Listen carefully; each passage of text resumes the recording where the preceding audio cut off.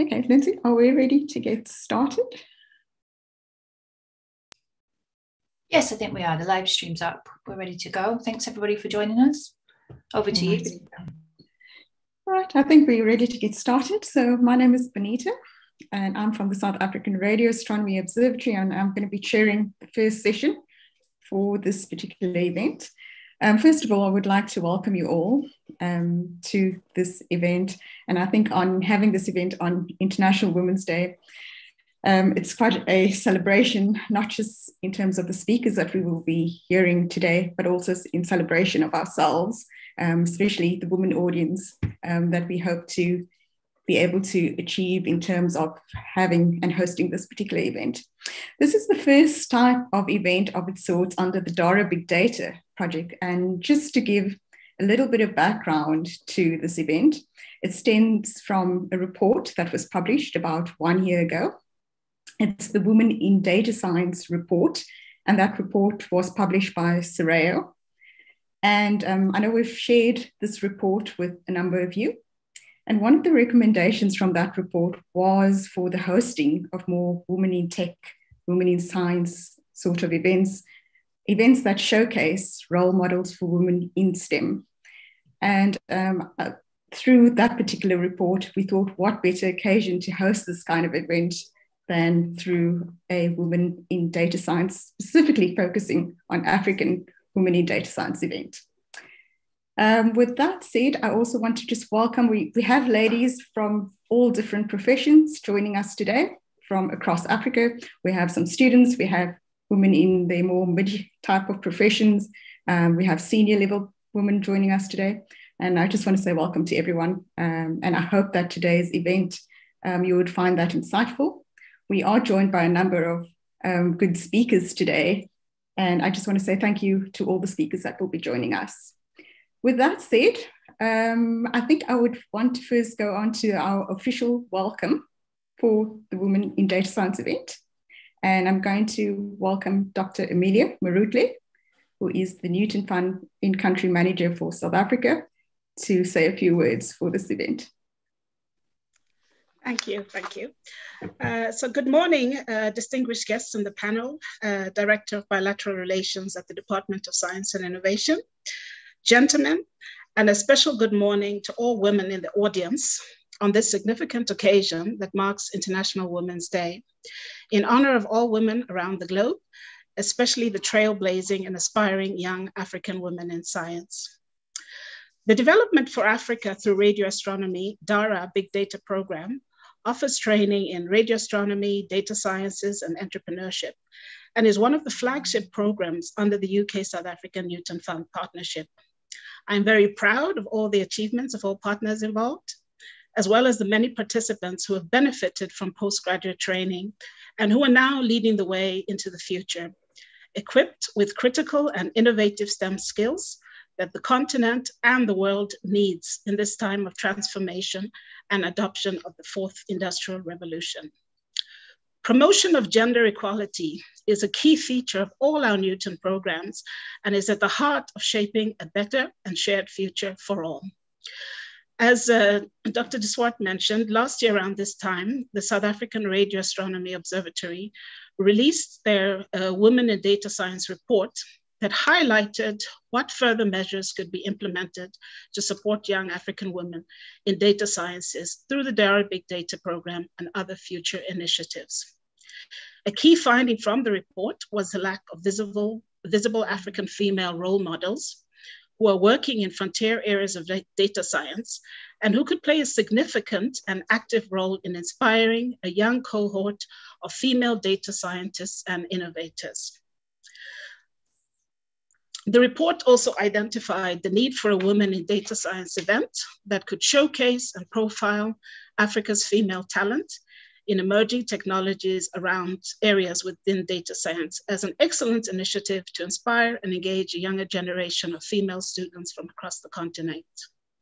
I am pleased, therefore, that one year on, this is finally happening this African Women in Data Science event is held for the very first time in response to the recommendations in the report. On behalf of the UK South African Newton Fund, I would like to thank the organizers that have put together a very exciting program. I hope you all enjoyed today and find great inspiration listening to these remarkable women as they share and reflect on how they are forging new paths and avenues for the young women of today and the future. I would just like to end with this rally call to all young African women out there. Please be bold and courageous. Seek and take each opportunity to learn, hone your skills, and share with your fellow female companions, and your future and that of the continent will always be bright. Thank you. Thank you very much, Amelia. Um, I just want to let the audience know if you have any comments or questions, please post it to the Q&A um, within the webinar. Um, that can be to any of our speakers today.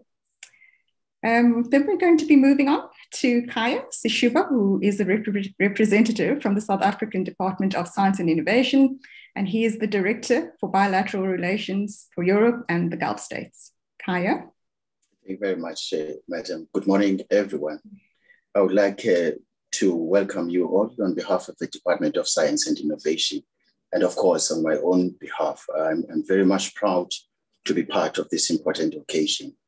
Uh, I have been requested to, to join this DARA webinar and to make remarks on this rich partnership and collaboration connect, connectedness with the UK and other regional uh, partners. It is my pleasure to do that. First of all, a happy International Day to all women researchers. Uh, um, if we were having this uh, uh, workshop personally, I'll be distributing chocolates to all the, the ladies there. But this workshop is indeed taking place in a very challenging time of COVID-19 and such we can't meet physical. Nevertheless, we are not uh, defeated. Here we meet our great virtual means. Our lives must continue in the advancement of our societies. After all, science must pave the way out of this challenge. COVID-19, though, has uh, taught us an important international that uh, international cooperation is very important and how critical it is to, to tackle global challenges together. Cooperation, coordination, and partnership will ever remain necessary and vital in the future advancement of mankind. After all, science knows no borders, and that, ex that expression finds meaning and is well illustrated in the DARA partnership activities across national borders.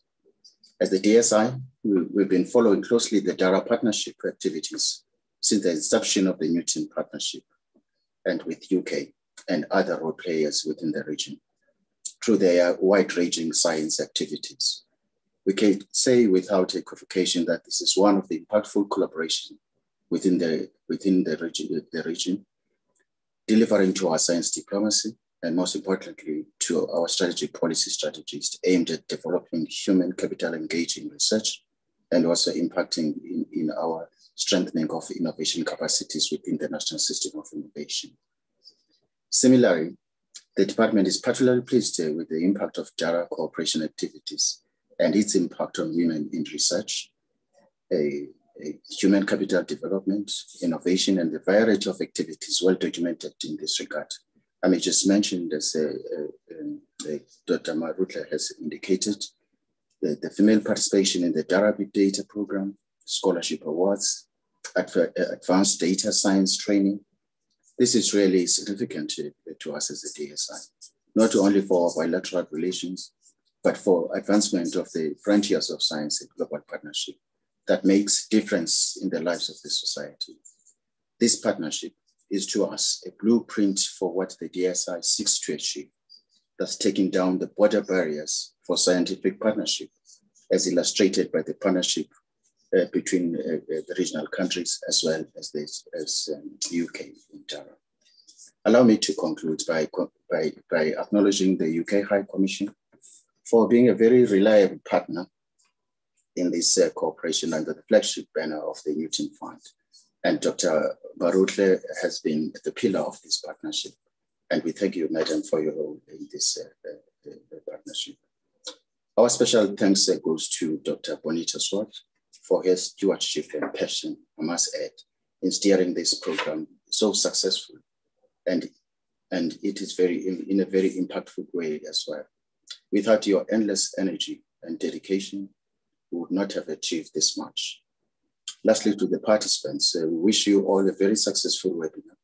I certainly believe that the contacts and networks that are formed here and the exchange of knowledge and uh, know-how will shape long-term partnerships and relation amongst uh, the participating countries, as well as the participants themselves.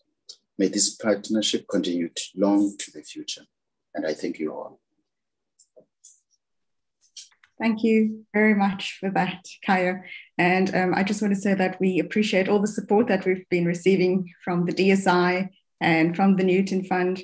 And um, also, I know with Amelia, just being able to call on you when when we are um, in need and when we do need advice, I think that's played uh, quite a remarkable role in forming both Dara and Dara Big Data um, from the South African side. So thank you very much to you and Amelia. thank you. Okay, with um, the official welcome um, coming close to an end, we have one more speech, and that is by Ms. Potlako Makua, who is currently a data engineering manage manager at Accenture South Africa. And Potlako is a young data scientist, and we thought what better way um, to start off this event than by hearing what the views and vision are from a young data scientist and a young professional and what they would like to see um, achieved through these kinds of events and how to promote women in science and frontier roles in Africa. And with this, I would like to welcome Potlako. Um, are you able to hear yes. us, join us? okay, thank you.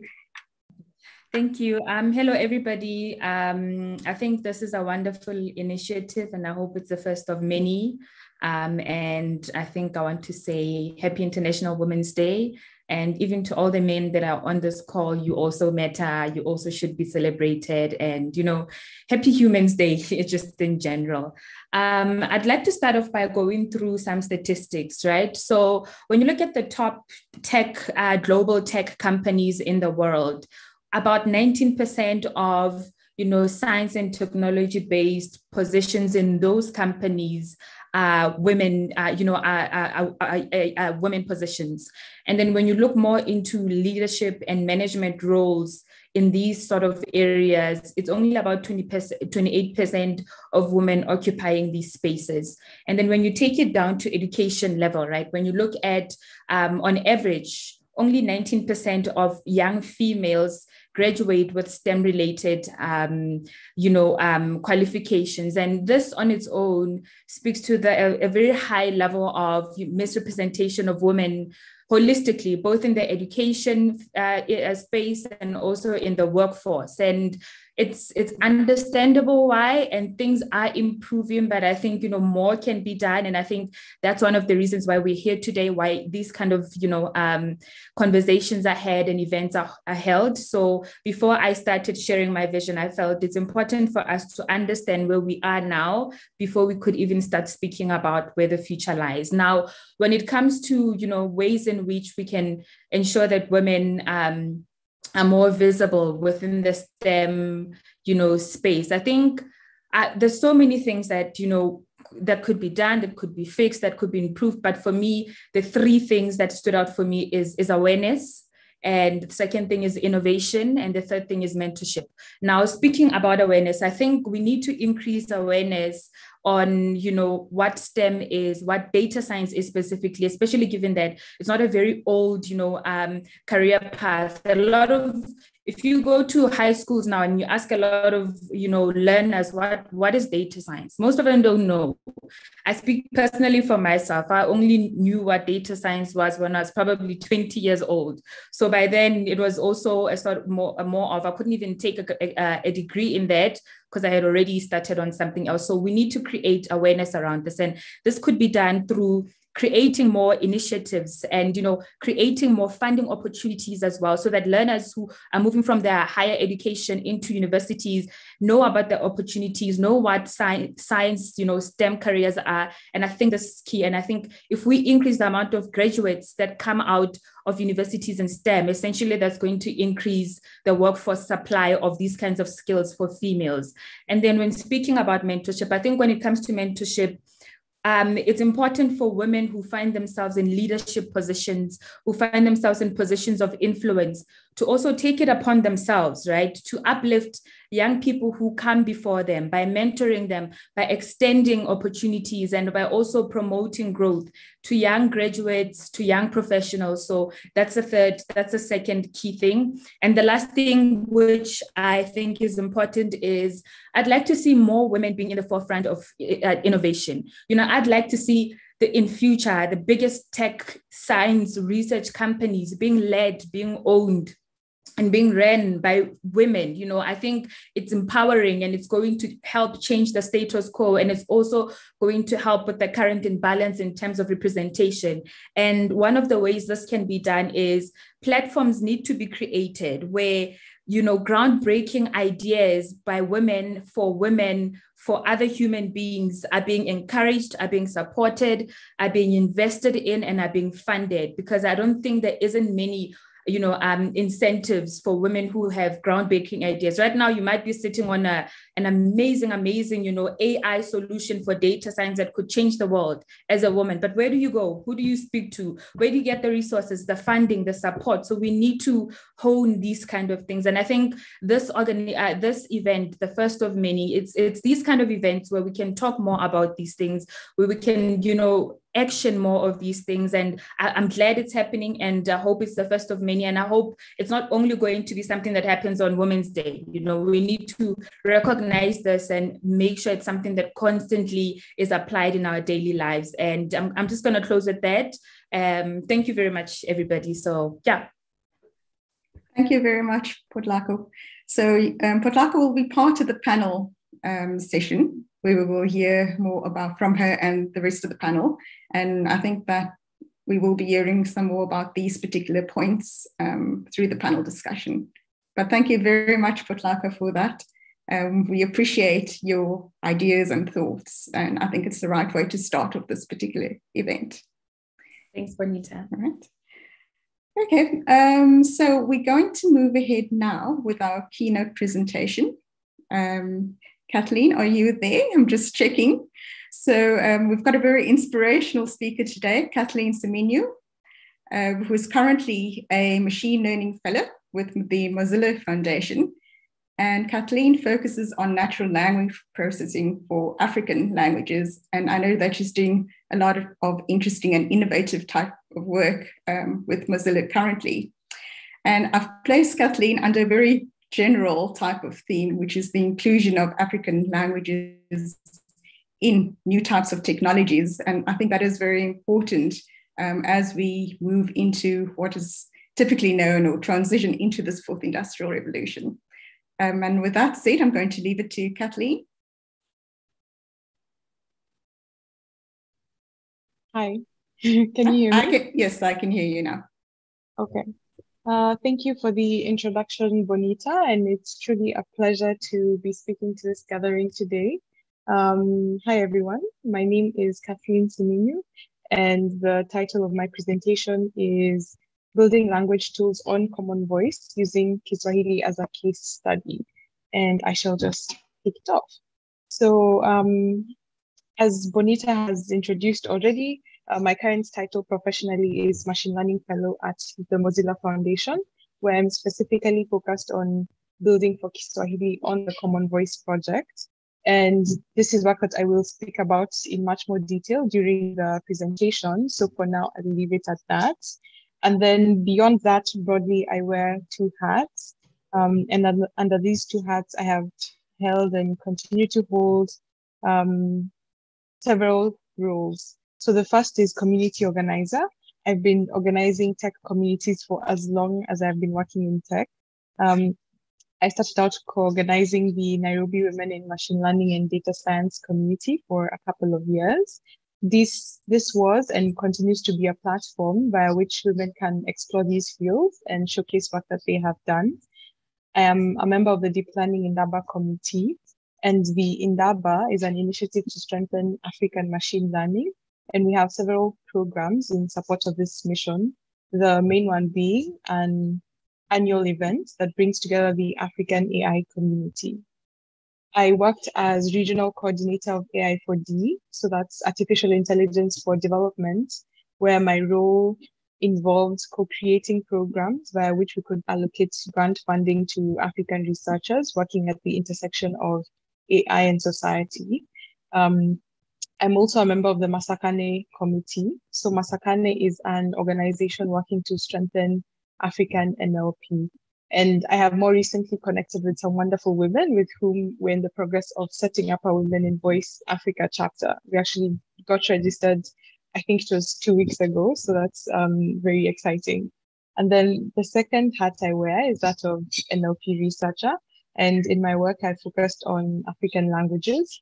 Uh, my journey started in machine translation, where as part of Masakhane, I worked on models for several Kenyan languages and I'm now more focused on work in speech recognition. And um, this started with some work in phoneme recognition for Luhya languages, and now speech recognition for Kiswahili.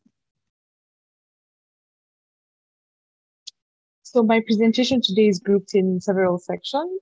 First, I will do an introduction of the Common Voice project, and then talk about the Kiswahili community building that we have been doing, um, I'll then go into discussing gender challenges in technology and then finally uh, multidisciplinary collaboration that we have done to, I'll say, improve the success of our project.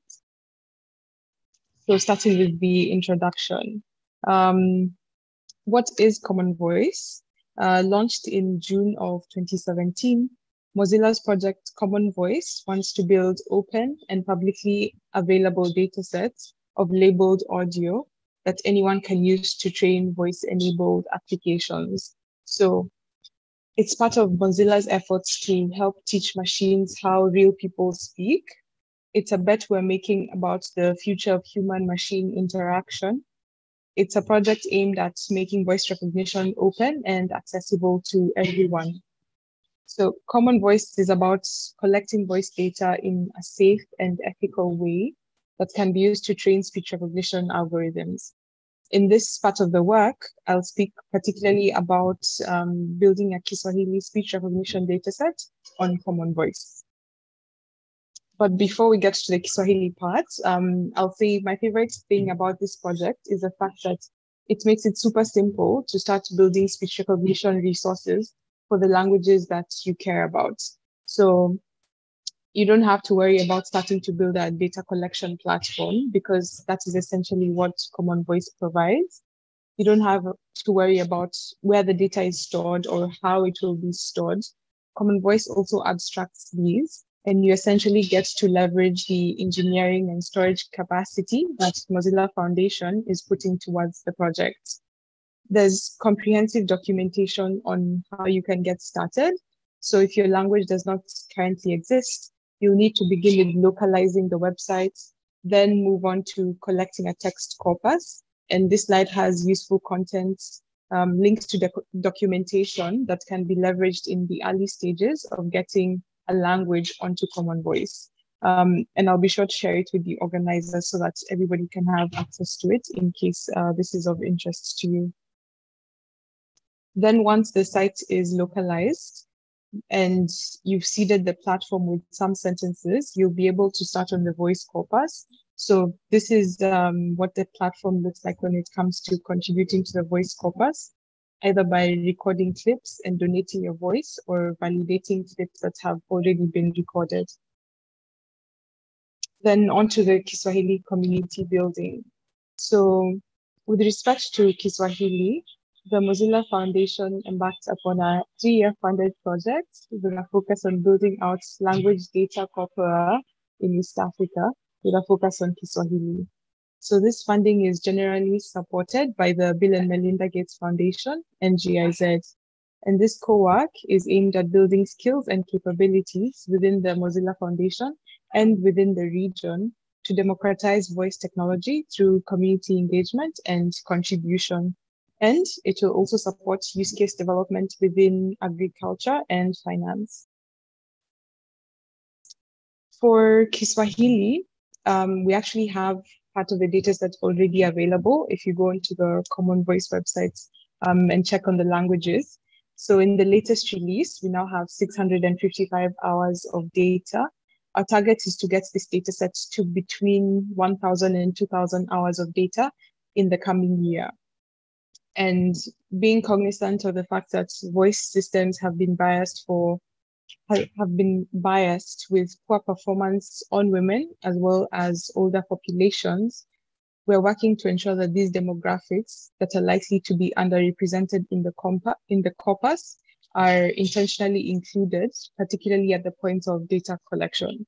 Um, if you look at this at the screenshot I've included, you can already see uh, which details the latest available Kiswahili dataset has. Um, it indicates that older people are already the minority and that there's also a disparity between men and women. And these are dynamics that we're working to counter. And I'll speak more about um, the gender challenges ahead. Uh, community is at the core of the Common Voice project and Mozilla Foundation at large. And a large component, again, of our work focuses on community building efforts.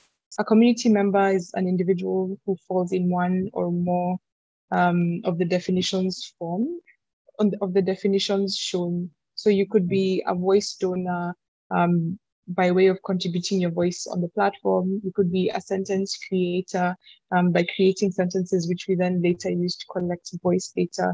Could be a voice validator by going onto the platform, listening to audios that have already been recorded and validating those. Um, or you could be a voice dataset user um, by actually downloading the dataset and building either speech recognition um, applications, models, or whatever other use case you may have for this. And in addition to these, um, in our work, we have found great success in engaging with individuals known as community champions. So these are individuals in the community that have already shown interest in the language and growing a more diverse data set with regards to use in um, technologies. So we worked to identify champions within the countries speaking the Kiswahili language. So far, we have uh, representatives from Kenya, Tanzania, and the DRC. There are a wide variety of events that community champions can host. These are centered around growing a community around the Kiswahili language and also towards thinking about more inclusive technology for this voice use, for voice use cases. Um, we emphasize that content coming out of these activities will be made available to the public through an open license. The entire data set is CC0. So even at the point of um, crowdsourcing sentences, we have to be very careful not to take anything that may be um, IP or copyrighted and owned by someone, um, which has presented a bit of a challenge. But we found that actually hosting events where people sit down to intentionally write so our write-a-thon has been something that has been um, very successful in our work. And so these events can be a mix of virtual and physical sessions. Um, and we've also found great success with pre-recording videos which can then be played at physical events if necessary. Uh, in this third section, I will go into the challenges in the gender challenges in voice technology. So Central to our work is the inclusion of women, and there are a variety of reasons why women are underrepresented in voice technology. Um, I will highlight some. Um, there are less female datasets, or perhaps less female representation in voice datasets. So we find that majority of programs are geared towards profit generation and are often created to cater for specific markets and often created to using male white voices. So it's it's def it's difficult to find sex disaggregation of data sets to at least indicate the extent of participation for purposes of gender analysis. And in addition, even when designed to be open and inclusive, there is a challenge of female voice contributions. For example, English voice donations show male voice data sets male voice data sets dominate at 47%, while female, uh, while women fall behind at only 15%. With lack of representation of female voice data sets to train the models, it's therefore difficult to find the patterns within data that are representative of the female population, leading to biases in algorithms created. And then something else that's that we have found to be major is, is trust. There's trust issues around privacy and data protection also impact how women interact with voice technologies. Um, we find that there are concerns raised around increased surveillance, bias, and discrimination, as well as data governance that shape and that shape the levels of trust for women and gender diverse people. So UNESCO recommends that AI should address issues of consent and confirmation of ethical use of data privacy and security for women and girls. And the Web Foundation, in their research, found that 54% of female respondents said they would not allow companies to use any of their data, compared to 47% of men. Um, again, which just goes to show that where making your data or personal information publicly accessible is concerned, women do have more reservations and with good reasons because there are a lot of trust issues which we need to think about and consider.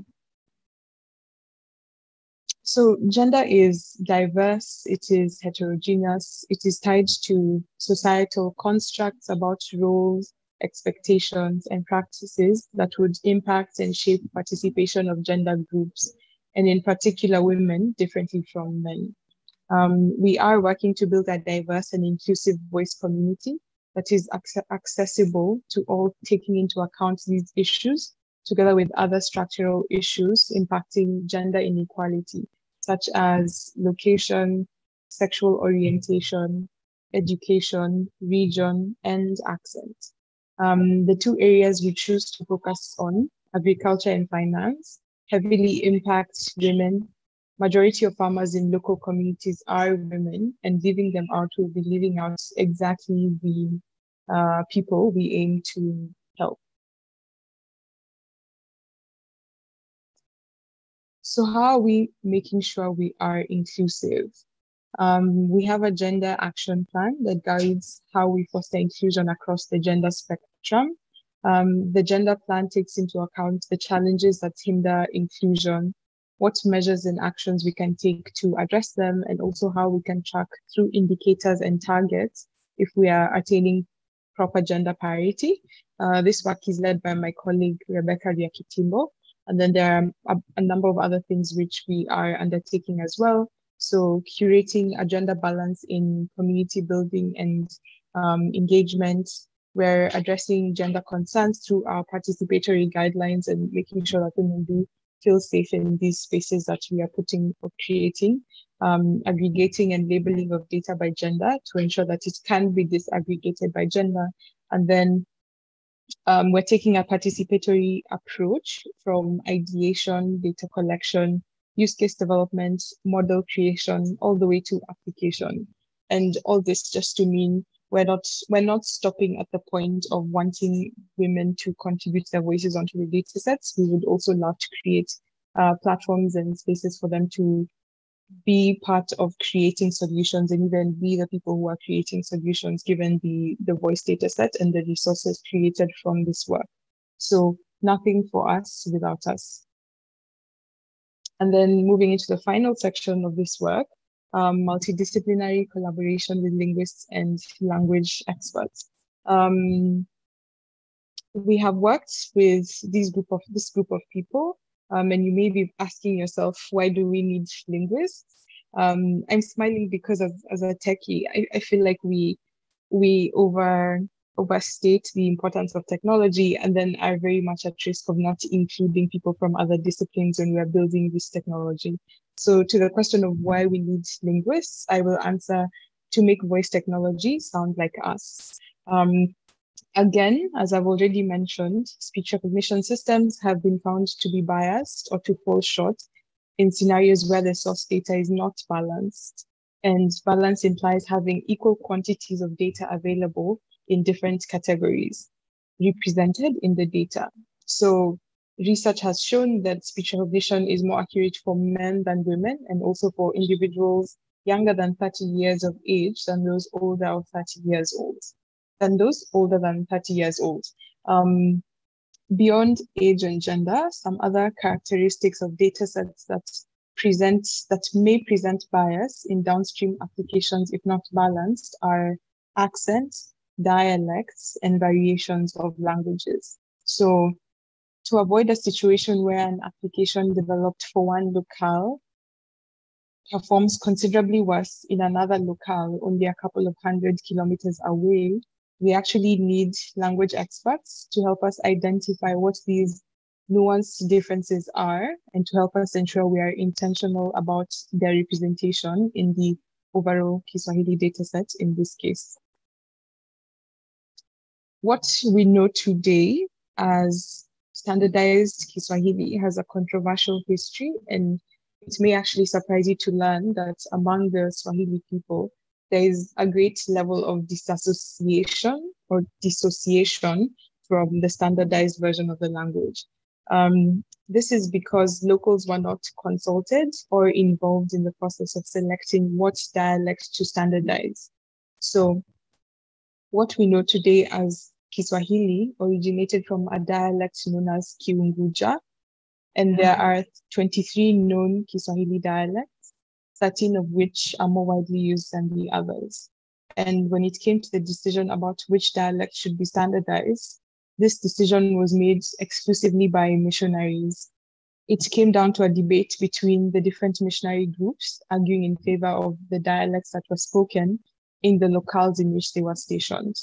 It was based on what the missionaries were most familiar with and had little to do with the people themselves or, in fact, the languages. Then, with the decision to standardize Kiunguja, came the realization that it was not linguistically rich enough and needed supplementary vocabulary. And once again, at this stage, the Swahili people were not involved, which resulted in a growing distance between Kiunguja, the dialect selected for standardization, and the Kiswahili, which emerged after the process of standardization. Then, with the standard Kiswahili came efforts to drive its propagation ensuring it is the language taught and used in schools. This gave rise to linguistic insecurity and the continued massacre of dialects related to Kiswahili. Linguistic insecurity is the negative, the negative self-image of a speaker regarding his or her own speech variety or language it might happen if the speaker compares his or her phonetic and syntactic characteristics of speech with those characteristics of what is perceived to be correct. And I put correct in quotes. And unfortunately, this is what the native Swahili people are subjected to in school and other formal settings where they interact with those of us who learn and use standard Kiswahili. They are repeatedly corrected made to believe what they speak at home is incorrect. But of course, the truth is much more complex than that. Unfortunately, uh, the result is that there naturally occurs a drift towards that which we are made to believe is correct and away from the diversity present among the native Swahili people. There are presently Kiswahili dialects on the brink of extinction and others progressively falling away from use literally every day. So, how did these learnings from the linguist engagements impact our work? Well, from linguists and language experts, we learned that building in isolation as technologists, as developers, and as NLP researchers is not the right thing to do. We learned that even if our main intention is to build a Kiswahili dataset on Common Voice and to make it publicly available so that it can benefit Kiswahili speaking populations, this will not inherently happen if we do not take the time to understand aspects of the history and of the language and the Kiswahili people. The history of the language and the Kiswahili people. We learn that if we proceed without conscious consideration, we risk alienating some of the populations that this resource should actually benefit. Our time with the linguists involved working to identify the dominant dialects, and variants of Kiswahili that are most widely used presently, We then worked with them and had them do field work, which served to, which served to develop texts that are reflective of the variants and dialects identified as prevalent. And by prevalent, um, I mean has a large number of speakers or is likely to have a great uh, greater impact if resources are developed. And of course, in comparison to the work that is being done for the wider Kiswahili dataset, which is based on standard Kiswahili, these subsets will be significantly smaller, but our intention is to have the texts and the audios collected from the respective communities be subsets of the whole. And these subsets will have two main purposes. The first is to help us quantitatively evaluate how our models and downstream applications perform on related dialects and variants. We would like to work towards models with equal performance across various variant and dialect speakers, not forgetting the gender and age aspects as well, of course. And a first step will be figuring out if there, if there is indeed degraded performance for the different demographic groups. And the second is in the event that the performance is degraded for different demographics, we would like to make resources available to developers so that depending on the particular local context that they are building applications for, they will be able to fine tune so as to improve performance if necessary, given the resources created and made available. So that brings me to the end of this presentation. Um, thank you for listening. We encourage you to share our mission with your social networks using the hashtag um, Common Voice. And I would be happy to connect on Twitter using the my handle at Siminyu underscore cats. Thank you again. Thank you, Kathleen. Um, may I just remind um, individuals that you can post your questions in the Q&A in the webinar um, if you have any questions to the speakers. Um, Kathleen, we do have a question, and um, this is from Jane Toms Mondi, who wants to know what do they need to do to be part of your projects. Um, he or she goes on to say, I would like to get a chance to apply the skills I've learned so far and gain hands on experience.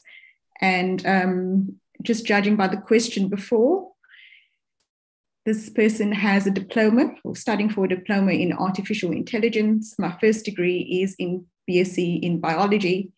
Um, so they would like to know what steps can they take um, to either be part of this particular project or how do they get more involved with data science in general? Uh, okay, so I'd ask them if they're a Kiswahili speaker because then it's very easy for me to say, reach out to me and I'll look for one of the available roles in our community activities and see how you can be beneficial in that sense. But even if you're not a community speaker, um, I would encourage you to check out Common Voice and see if the languages or any languages that you speak or would be interested in, in contributing to or building for are already available on Common Voice.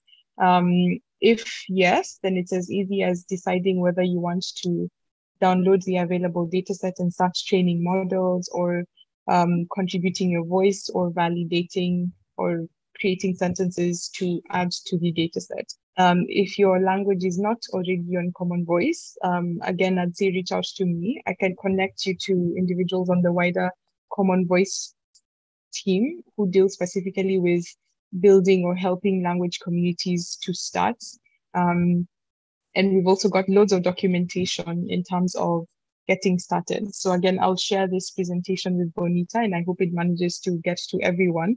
But then there's useful links there which take you literally from my language is not on common voice. How do I get it there to finally having voice contributions and one day potentially having a data set that people can download and use to train um, speech recognition models. All right. Okay. Thank you. Okay, then there's another question by Laon Chiole. And um, I'm going to try, it's a bit of a long question, but I'll try to summarize it. Is there an option automatic language detec- detection based on speech once the data has been collected and the model's trained? Um, EPS, how do we ensure there isn't confusion when it comes to correctly detecting languages? And the reason this person is asking is because there are certain phrases in different languages which are the same but mean different things. So, um, Kathleen, are you able to understand and answer that question? I can. I can try. So, uh, language detection and speech recognition are two very different tasks. Ideally, if you're doing speech recognition, you know what languages, what language you're building for. So if it's Kiswahili, then the expectation is that you'll be giving your model or your application Kiswahili speech, which you then expect text to come out of. If it is Zulu, then you'll be giving your model or application Zulu speech and expect Zulu text to be coming out of that. In terms of language identification, again, it's a completely different task because identifying whether a language is Kiswahili or Zulu, that's a completely different model. The dataset looks different. Um, and unfortunately, I cannot speak to it. I will say that uh, a, a challenge that we face building in speech recognition, particularly in Africa, is the fact that our societies are very multilingual. And so code switching is likely to happen. Um, so there are techniques to deal with code switching in speech recognition, and perhaps that may help in your context where the society is very multilingual and it's possible for someone to come onto your application and be speaking A instead of B or a mixture of the two. So it may be useful looking into code switching methods for um, speech recognition. Um, yeah. Beyond that, I, I hope this response has been helpful in some way. Thank you. Um, there's another question um, what kinds of technology products are imagined to come from these voice technologies? Okay, that's a great question. So I've, I've mentioned briefly in the presentation that we are in this phase of the work focusing on getting applications in agriculture and in finance. Um, and this is a decision that is very much driven by the networks that our funders currently have on the continent. So in terms of farmers, we realize that there's a lot of knowledge held within these communities. And also there's a lot of knowledge available on the internet, but then language may be a barrier, both to these farming communities getting their knowledge on the internet, as well as to them getting access to information that's already on the internet to help with their farming activities. So um, I will say that we've, we've recently put out a grant call because building of these applications is not something that we as Mozilla are going to do. We've been working on building relationship with partners who work in farming and in finance so that they can receive grant funding and potentially build applications that they already use in their work, as opposed to us building end user applications that, you know, are just nice and fancy, but then nobody actually needs or ever uses. Um, but then in our research, popular um, use cases that we've seen, particularly in farming, is like an information kiosk where um, it's something that's centrally located, where let's say in a marketplace where farmers frequent potentially to come bring their produce. And so it's an information kiosk in that you can go to it, access it, talk to it via speech. If your plant potentially has some symptoms which may signal a disease, you can talk about them with the information kiosk um, and get some response or some suggestions on what you may be able to do. Alternatively, um, if you already have some ideas or have done some things, that's also something you can speak with speak about with the information kiosk, and then the data or that information gets recorded. So it's two way in that way. Um, we've also seen several suggestions or um, recommendations for applications in a call center setting. So it may again be in the context of farmers and them calling in to speak about um, plant or animal diseases. It may also be in the context of um, finance. So in Kenya in particular, we have a lot of chamas, which are, um, I would say, table banking groups. So uh, women running stalls at a market may come together and say, hey, let's be putting aside money every week or every two weeks with a certain goal in mind. And having a call center functionality would potentially automate the process of checking if everybody has made their monthly contribution or double checking who needs to be receiving the money this month for their own purposes. Um, I will again say all these are hypothetical use cases, but then the idea will be for the end user to build the application that they use and we'll be working to support that process in whatever way we can. All right. Thank you for that answer. And that was the question from Siri, and I think Siri added an additional question on how can ordinary Africans access these technologies. And I think Kathleen, you've hinted to that, that already. Um, so I think that we, we, we won't answer that question since you already have hinted to that question. Um, I'm just looking if there are any other questions for you, Kathleen. Um, I think that um, many people are saying that they are um, thanking you for your interesting presentation um, and giving them some more insight on what the applications of data science are. Um, there's an anonymous question, I think. Um, it says, so if there are more female voice data sets, so what is the follow-up? What is the benefit? and this person said they cannot relate to the impact of it. Okay, well, again, I'm, I'm going to use very Western examples, but we see that a lot of um, voice enabled applications are now becoming the key to access to information. Um, for example, voice assistants. And the impact of them not being, um, not having good performance of, on women is that you have to struggle or change your voice, potentially deepen your voice so that you can be understood. And let me liken this to the example of um, of face recognition, which is much more popular with uh, face recognition, or is it face recognition? Yeah, face recognition being much more, uh, much better performing on men than on women. And then there's different levels, right? So there's black men, black women, and all sorts of shades. It's it's the same thing for speech recognition. If for as long as the data sets are mainly white and male dominated, then that's a demographic that is going to get ideal performance. That's essentially who these tools are being built for. So it means for everything that we automate and we say voice recognition or um, speech recognition is needed to access that, then it means then that's the white male demographic is getting the best out of it, and the rest of us have to struggle. Uh, to use another example, I um, some time ago read about an article of on the use of um, voice assistants, particularly in Nigeria. So I know that Google now has uh, um, a Nigerian accent, for example, on maps. And it's because they realized that if you're Nigerian, you could be, you know, having a conversation with your buddies in a social setting. And then if you needed to speak to your voice assistant to get some sort of information, you need to completely change your accent and sound American for you to be understood and for you to get what information you need. So this sort of adaptation of us needing to change our diversity, whether it is cultural diversity or whether it is gender diversity, so as to be understood on digital spaces, which are increasingly becoming very important in our daily lives. It's it's just not fair.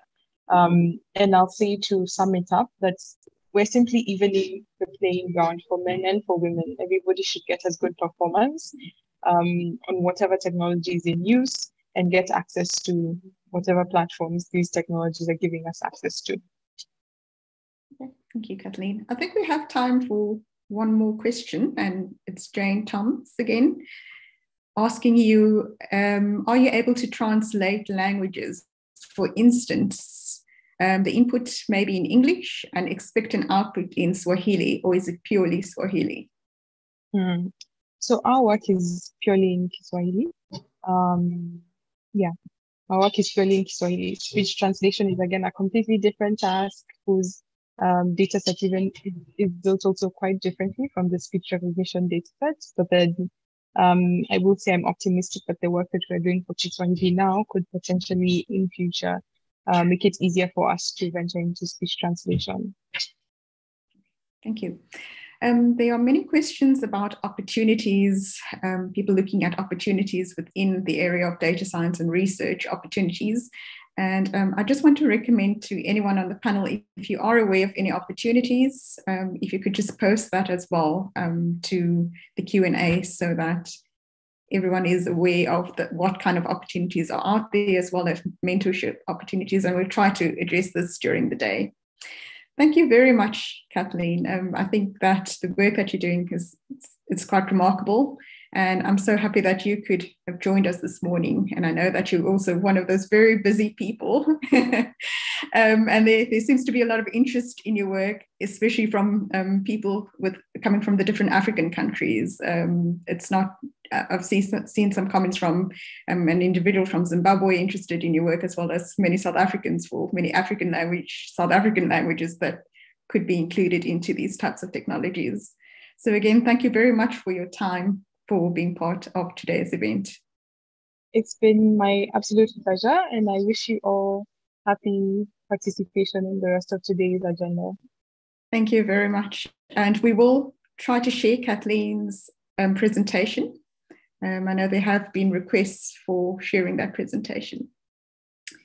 Right, we are going to move on, um, and the next session is going to be our panel discussion, and that is going to be led and chaired by Associate Professor Carolina Odman Govender.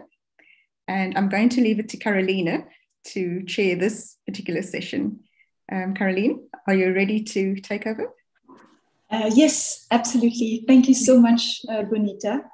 And uh, wow, what a way to start the day. Um, what inspiration uh, we, we have already. this, is, this is really, truly fantastic. So so thank you for, for brilliant uh, keynote address, Kathleen. Um, and I am now, I've got the, the incredible privilege to be able to present to you our panel of six incredible women who are going to tell us about their experiences and their visions for the future and so on, about women in data science. Um, and uh, so we will have we will first go around uh, the table to hear what they each have to say. Then we'll have a, an interactive discussion, Q&A style. And then uh, when it's time to wrap up, we'll go around the table again um, to ask them to for last, uh, last words. So I see everyone is coming online now. If our speakers could please um, switch on their cameras um, and their microphones and it will be my absolute pleasure to first introduce them. So they've sent us um, their, their bios and uh, prepare to be amazed because all of these women are fantastic. So I'm going to start with Dr. Gugulethu Mabuza Hocquet. Right. Um, so um, Dr. Gugulethu holds a PhD degree in electrical and electronic engineering from the University of Johannesburg. Um, she's currently employed at the Council for Scientific and Industrial Research, the CSIR. Um, and there she is a research group leader for the surveillance and countermeasure systems. So it's part of the, the defense and security cluster. So really, she's, she's keeping us safe here. Um, uh, she holds an MTech degree in telecommunications, cum laude, um, an um, MSc degree in electronic systems, on, and then a PhD. Uh, she's also a supervisor and a mentor for members in her research group and for the students enrolled in master's and PhD degrees. Her academic work in the field of science and, and technology has won her numerous awards, including the Tata South African Women in Science Awards in 2011. Uh, she was first runner-up with the Science Communication Competition FameLab in South Africa in 2014. And if you know FameLab, you know that really means that she is a fantastic communicator. Um, and she's a brand ambassador of the Ideas That Work campaign for the CSIR. That's uh, Dr. Gugulethu. If you could just wave to our audience. Yay, fantastic. Thank you. Okay, I'm just going to introduce everyone and then and then we'll we'll pass you pass you the mic. Then we have Dr. Araba Sey. So Dr. Araba Sey is a principal research scientist at the University of Washington. And she's got projects all over the place. So she's working at the Information School and the Ocean Nexus Center. And that's a center that works to transform ocean governance so that the oceans benefit everyone equitably and in a culturally relevant manner. So this is super interesting. She's also a senior research fellow with Research ICT Africa, which is a digital policy regulation and governance think tank. Then her research specifically examines digital and social inequalities so she helped to establish the research coalition of the Equals Global Partnership for Gender Digital Equality. And so this is a global partnership working to bridge um, the gender uh, digital divide. And she uses her research to explore ways to foster diversity, social equity, and knowledge democracy in digital development and in policy-making processes. So really at the heart of making sure uh, digital technologies are accessible and equitable for women and, um, and people around the world. Then we have Dr. Cherise Dunn. Oh, sorry, Dr. Araba Sey, can you please wave to the audience? Yes, thank you so much. Okay, now Dr. Cherise Dunn. Um, so Dr. Cherise is a co-founder and chief operating officer of South Africa Makes. So we have an entrepreneur here in the room. And it's an award-winning medical device digital manufacturing company. She holds a PhD in medical biochemistry from the University of Cape Town. Um, she specializes in cancer research. And uh, South Africa Makes, the company that she's co-founded, has been featured on TEDx and in the Mail and Guardian, and it's one of Fast Company's, uh, Fast Company South Africa's most innovative companies from 2021. Um, she has facilitated partnerships with Formlabs, uh, being their first African ambassador, and also Autodesk to develop new healthcare and medical innovations on the continent. Um, and currently, South Africa Makes is developing an affordable and sustainable healthcare innovation in Africa, including in vitro diagnostic and um, uh, medical devices for COVID 19. So, at the heart of the fight against the pandemics. Thank you for that. Um, in 2021, Dr. Dunn was selected as one of Wesgro's young innovators in the Western Cape health tech sector. Um, she is one of the 50 most inspiring women um, in STEM in South Africa. Um, she's also um, earned the Mail and Guardian Top 200 Young South Africans for business and entrepreneurship. And she has mentored more than 500 youth and female entrepreneurs in design thinking principles, in critical digital tools to be used by under resourced startups as part of the Youth in Business and Top Tech Tools for Women in Business programs launched by the Cape Innovation and Technology Initiative. So, really, um, lots of mentorship and entrepreneurship here uh, with a background in science. So, fantastic to have you here, Cherise. Maybe you can wave to the audience. There we go. Fantastic. Uh, next, we have Dr. Kagonya Awori. So Dr. Kagonya Awori, hello, is an applied scientist at Microsoft Africa Research Institute. Um, she has over 10 years of experience in user experience research and design, and she's worked across the globe in countries like Kenya, the UK, Australia, um, in companies such as the iHub Kenya, one of the early innovation hubs in, in the whole continent, incredible innovators I have, and Microsoft Research, and the National Australian Bank, and Safaricom, which is also a place that helped innovate and, and bring things like M-Pesa into the market and things like that. So that's fantastic. Um, Kagonya also leads the research on the future of work in Africa in her work. She holds a dual master's in human computer interaction from Carnegie Mellon University in the US and a bachelor's in business information technology from Strathmore University in Kenya and her PhD in computer engineering from the University of Melbourne, Australia. So, true world citizen here. She's also passionate about creating knowledge on and for people and businesses in Africa and building AI solutions for them that can be scaled globally. In her free time, she enjoys traveling, swimming, hiking, but also mentoring young women. And for that, we're really grateful. Kagonya, if you could please wave to the audience. Thank you, thank you. And next we have Anelda van der Walt. Um, Anelda has, a, has formal education and research experience in bioinformatics and in next generation gene sequencing. In 2014, she established a South African training and consulting company called Talarify. Talarify is committed to working with research organizations, groups, and individuals to help build human capacity in reproducible research, open science, and computational and digital research across all disciplines. And this is really the future research. Research now uh, there's, much more demand for reproducible research, for digital assets being citable, and retrievable and open science with fair use principles of data and so on. So she's really at the heart of the action here. Um, over the years, Anelda has gained extensive experience with human capacity development in transdisciplinary spaces and specifically in multicultural and multilingual contexts, which is really interesting. She's also been heavily involved in supporting communities of practice around computational and digital resources across Africa. Nelda also has a passion for mentorship and is involved in various South African and international mentorship programs such as Escalator, Open Life Design, the Carpentries, um, the Software Sustainability Fellowship. And to clarify, her company's flagship projects currently include Escalator, which is funded and co-led by SADiLaR, which is a, um, a, South African project at the heart of, of languages, an, an amazing initiative, and AfriMapper, which is funded through the Wellcome Trust. So welcome, Nelda. If you could please wave to the audience. Thank you so much. And um, the last member of this, not, not the least, of course, of this illustrious panel, um, you've heard from her before, it's Potlako Makua.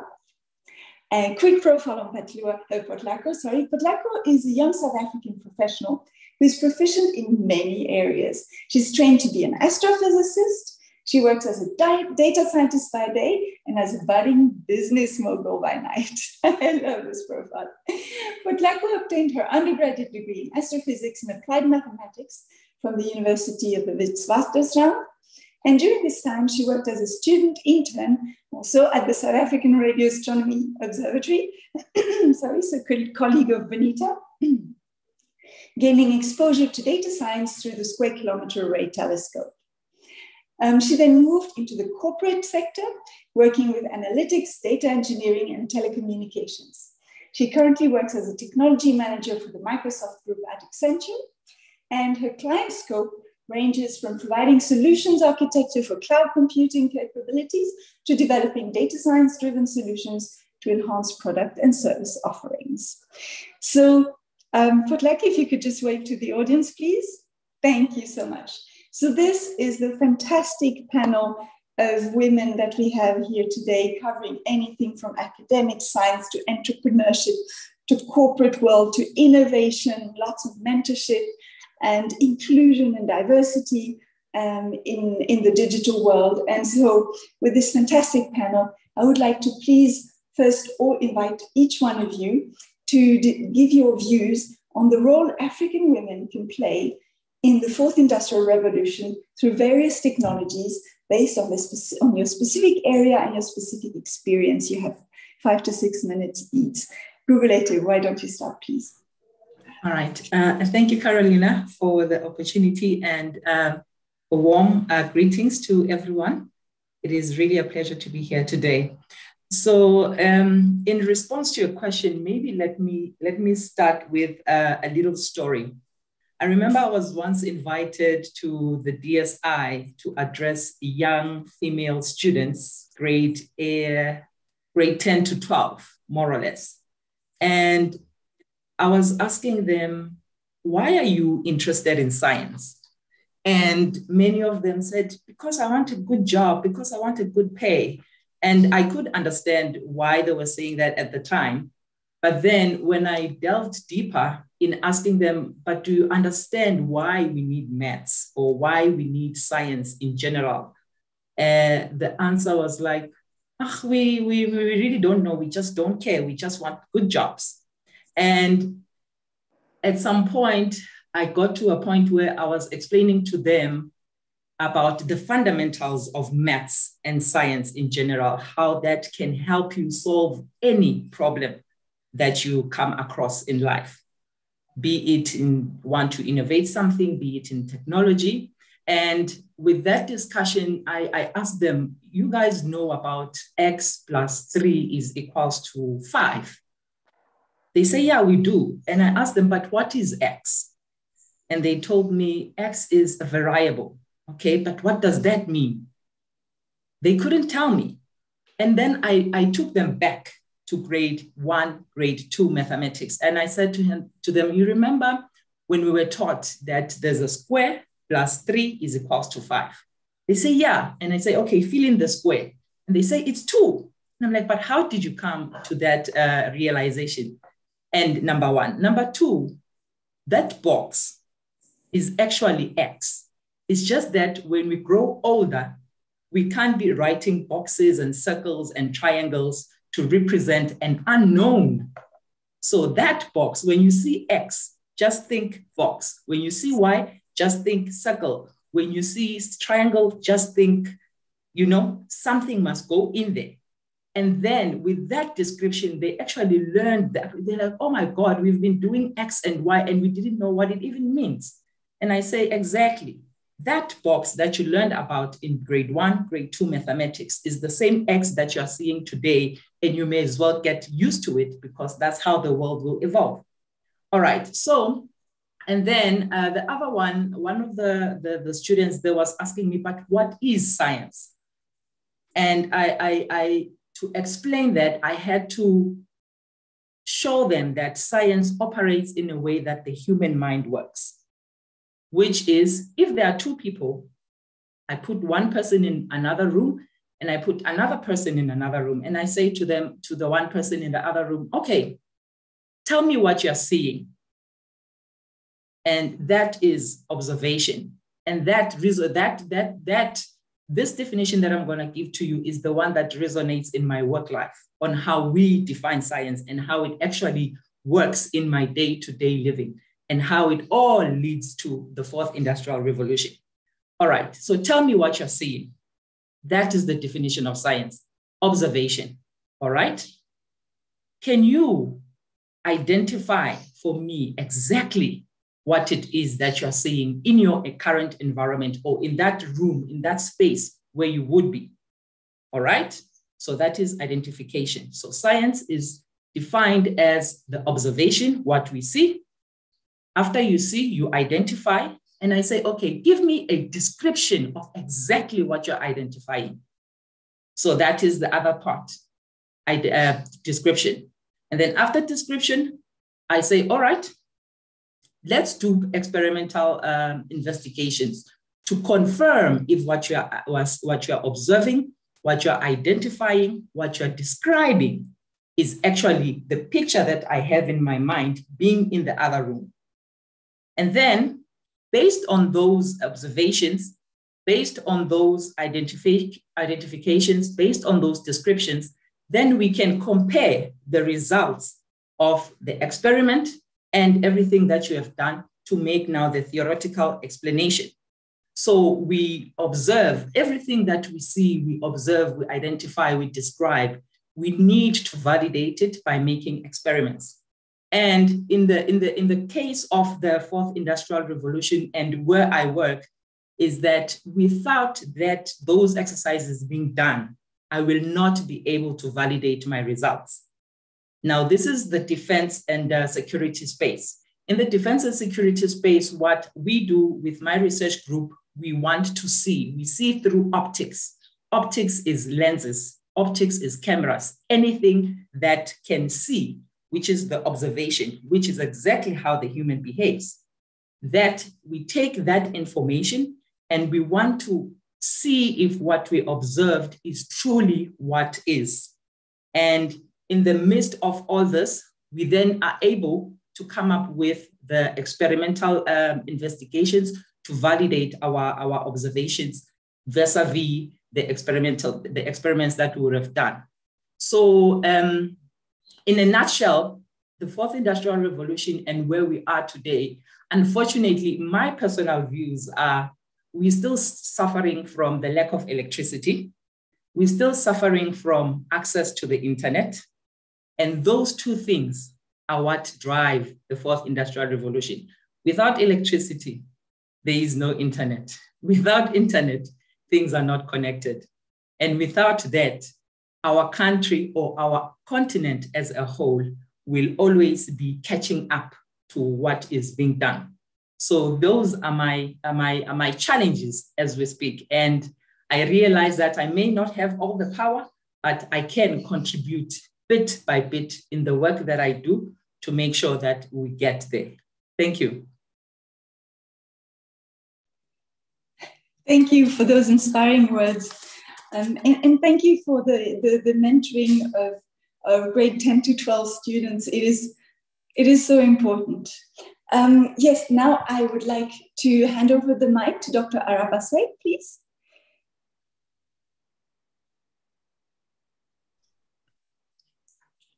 Great. So, what are your um, thoughts? Please go ahead. Yeah, it's, uh, um, I, I think I, I may approach this a little differently, and I want to start by saying I, since there are many different types of Africans, I hesitate to ascribe any roles to African women as a whole. But having said that, there are numerous ways that women can, in general, can participate in the fourth industrial revolution. And the most obvious one is one which we hear a lot about these days, and which I think even Kathleen sort of referred to in her in her presentation, in her keynote presentation, and that is to contribute to the design and the creation of fourth industrial revolution technologies. And we know that globally there's a severe lack of women, not to mention African women, um, in the design of these technologies, which are driving social and economic life. And the result is that these technologies are mostly designed from a male and non-African perspective. So having women participate or be involved in creating those technologies um, would ideally lead to some technologies that reflect um, our um, values and needs and interests as well. Um, however, there, there are a host of other roles, technical and non-technical, that women can play. And I'm going to mention just three of them um, very briefly, financing, governing, and analyzing. So first in financing, there's a lot of evidence that the vast majority of financial capital goes to male, male-led uh, institutions or entrepreneurs. And a lot of the, the venture capital, especially in the world today, is going to digital uh, enterprises. So in essence, fourth industrial revolution uh, startups. Um, and so this makes it difficult for female entrepreneurs in, in particular to get essential startup funding, and Black or African female entrepreneurs even more so. Um, but there's also some evidence that women financiers are more likely to invest in ventures that are founded or led or co-led by women. So African women who work in banking or in venture capital can help to channel funding towards women-led, women-founded, or women co-founded uh, enterprises, or to what we call gender lens investing generally. Governing. Um, trends in digital technology have already established that technologies tend to reproduce or worsen social inequalities, and in some cases, even directly cause harm to specific groups. So we need governance systems that are able to shape the creation of these technologies and guard against harmful use. And currently, these systems are being discussed and developed with limited representation of, uh, of African voices. And so again, here, African women, I think, can play a role by obtaining the type of training that's needed to participate in policymaking and management of uh, new technological systems. The challenge here is that it's often difficult to find people who have the technical skills to understand the industry and the technology, as well as the, the legal or management um, or governance knowledge to uh, participate in those policy-making decisions as well. So as you think about careers in, in data science, I think you could also think about uh, getting some of those uh, management and governance skills so that you can uh, participate meaningfully in, in those conversations and bring in an, an African perspective.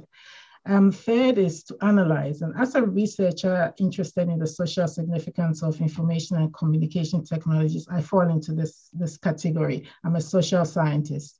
And by studying the role of technology in society, social science research can uncover gender trends that may be invisible or hidden or not taken seriously such as the extent of gender pay gaps, uh, skewed data sets, um, as Kathleen mentioned, that lead to biased uh, decision making or designs that embody male values only. You can also anticipate future trends such as potential benefits, but especially potential negative or unintended consequences. So in short, in addition to contributing to creating the technology, women can also contribute to providing the resources that go into creating the technology, shaping the organizational environment in which the technology is created, or shaping the social environment in which the technology is used. And ideally doing this in ways that distributes the benefits and the burdens of technology more evenly across different populations. I'm done. Wow. Thank you so much. I've taken a lot of notes there. That's such an interesting uh, perspective, and I'm sure we will definitely touch on several of those points in our in our upcoming um, discussion. This is fantastic. Um, and next, uh, Dr. Cherise Dunn, if you could please um, take the mic and, and share your thoughts with us. Yes, of course. Thank you, Carolina, for the introduction. Um, for this particular question, I think I'm going to briefly share my insights from an advocacy and an entrepreneurial point of view, so something slightly different. Um, and thinking about this question, I was considering the different challenges that we experience here on the continent and thinking that African women can really bring, you know, our unique experiences when approaching these challenges. So I think that women in general can make a significant contribution towards long-term value from the 4IR by forming part of the critical conversations and implementations and the reskilling of the current workforce. So as women, you know, we can bring a level of empathy and some deeper understanding of the community needs to the different projects that we work on.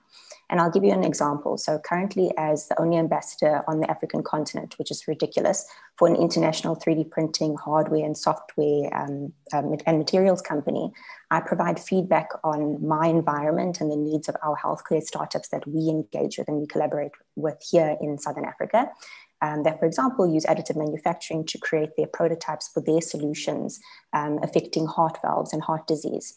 So, by sharing my insight with local startups about what can be achieved with the technology and helping them with their gaps in the knowledge and working with Formlabs, who's a much bigger global player, we've helped them to develop these better, um, better 3D printing materials that in some ways are better suited for our local patient needs um, which is great for us and for obviously for um, for the African community. But it really does benefit the rest of the world too, and Formlabs as a company. So there's real collaboration that has mutual benefit here. So that's what I think. Having women participate in the design of 4IR solutions in general just allows our solutions to be to be much more inclusive. Fantastic. Um, thank you so much uh, for that input. I think your experience is really quite unique. And uh, yeah, thank you for being the ambassador um, for the entire continent of Africa. And I hope uh, many other women will join your ranks soon. um, our um, next um, speaker for some input, please. I would like to welcome Dr. Um, Kagonya Awori, please. Take it away. Thank you. Thank you very much, Carolina. Um, thank you for the audience. We're really happy to um, be part of this panel and to have this very great conversation. So the question is, why should women take part in the fourth industrial revolution? Why should women like you or women who you support take part in it? My first simple answer is because we have before. So in the previous um, industrial revolutions, if you think about the first, second, and the third, um, where we're, we're, transitioning from use of coal and then you know, the use of gas, and the use of electricity, women played very significant roles. The only difference is that at that time, we never got much of the of the appreciation or the or the airtime or the publicity. I mean, think of say um, the first. Um, I believe she was the first um, engineer to make central heating more con, uh, commercially sustainable. It was uh, an African uh, African American woman um, in the 19, early 1990s. 19, like early 1900s, but we've never heard of her, right? Um, if I remember well, her name is Alice Parker. And, you know, at that time, women would make great strides in innovation, great strides in technology, but less the attention. We live in a completely different world. We live now in the world of, you know, in, in the informational, where data is gold, where information is gold, where the internet has made things much more ubiquitous. So why should we take part? Because historically, we've, we've always been taking part. In fact, even the first computer programmer is, um, is a woman. Um, look her up, Ada uh, Lovelace. So this really inspires us to know that our role is central in the progression of how humans continue to evolve and will continue to evolve. So that's number one. The second thing is, and related to the first point, it has been much more difficult for women to take part in um, changing the world, in you know, in contributing to technology, in contributing to knowledge, in contributing to advancements in science or STEM, even STEAM, right? Um, because they because these crafts have been a bit more sorry to use the word, a bit more male, male dominated. I mean, I can't imagine myself trying to contribute like to stuff like the electricity or the coal industry.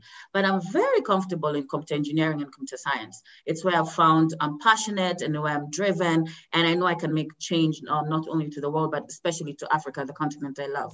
So this type of um, evolution is making it very, very easy for women, or rather easier for women to have a central role.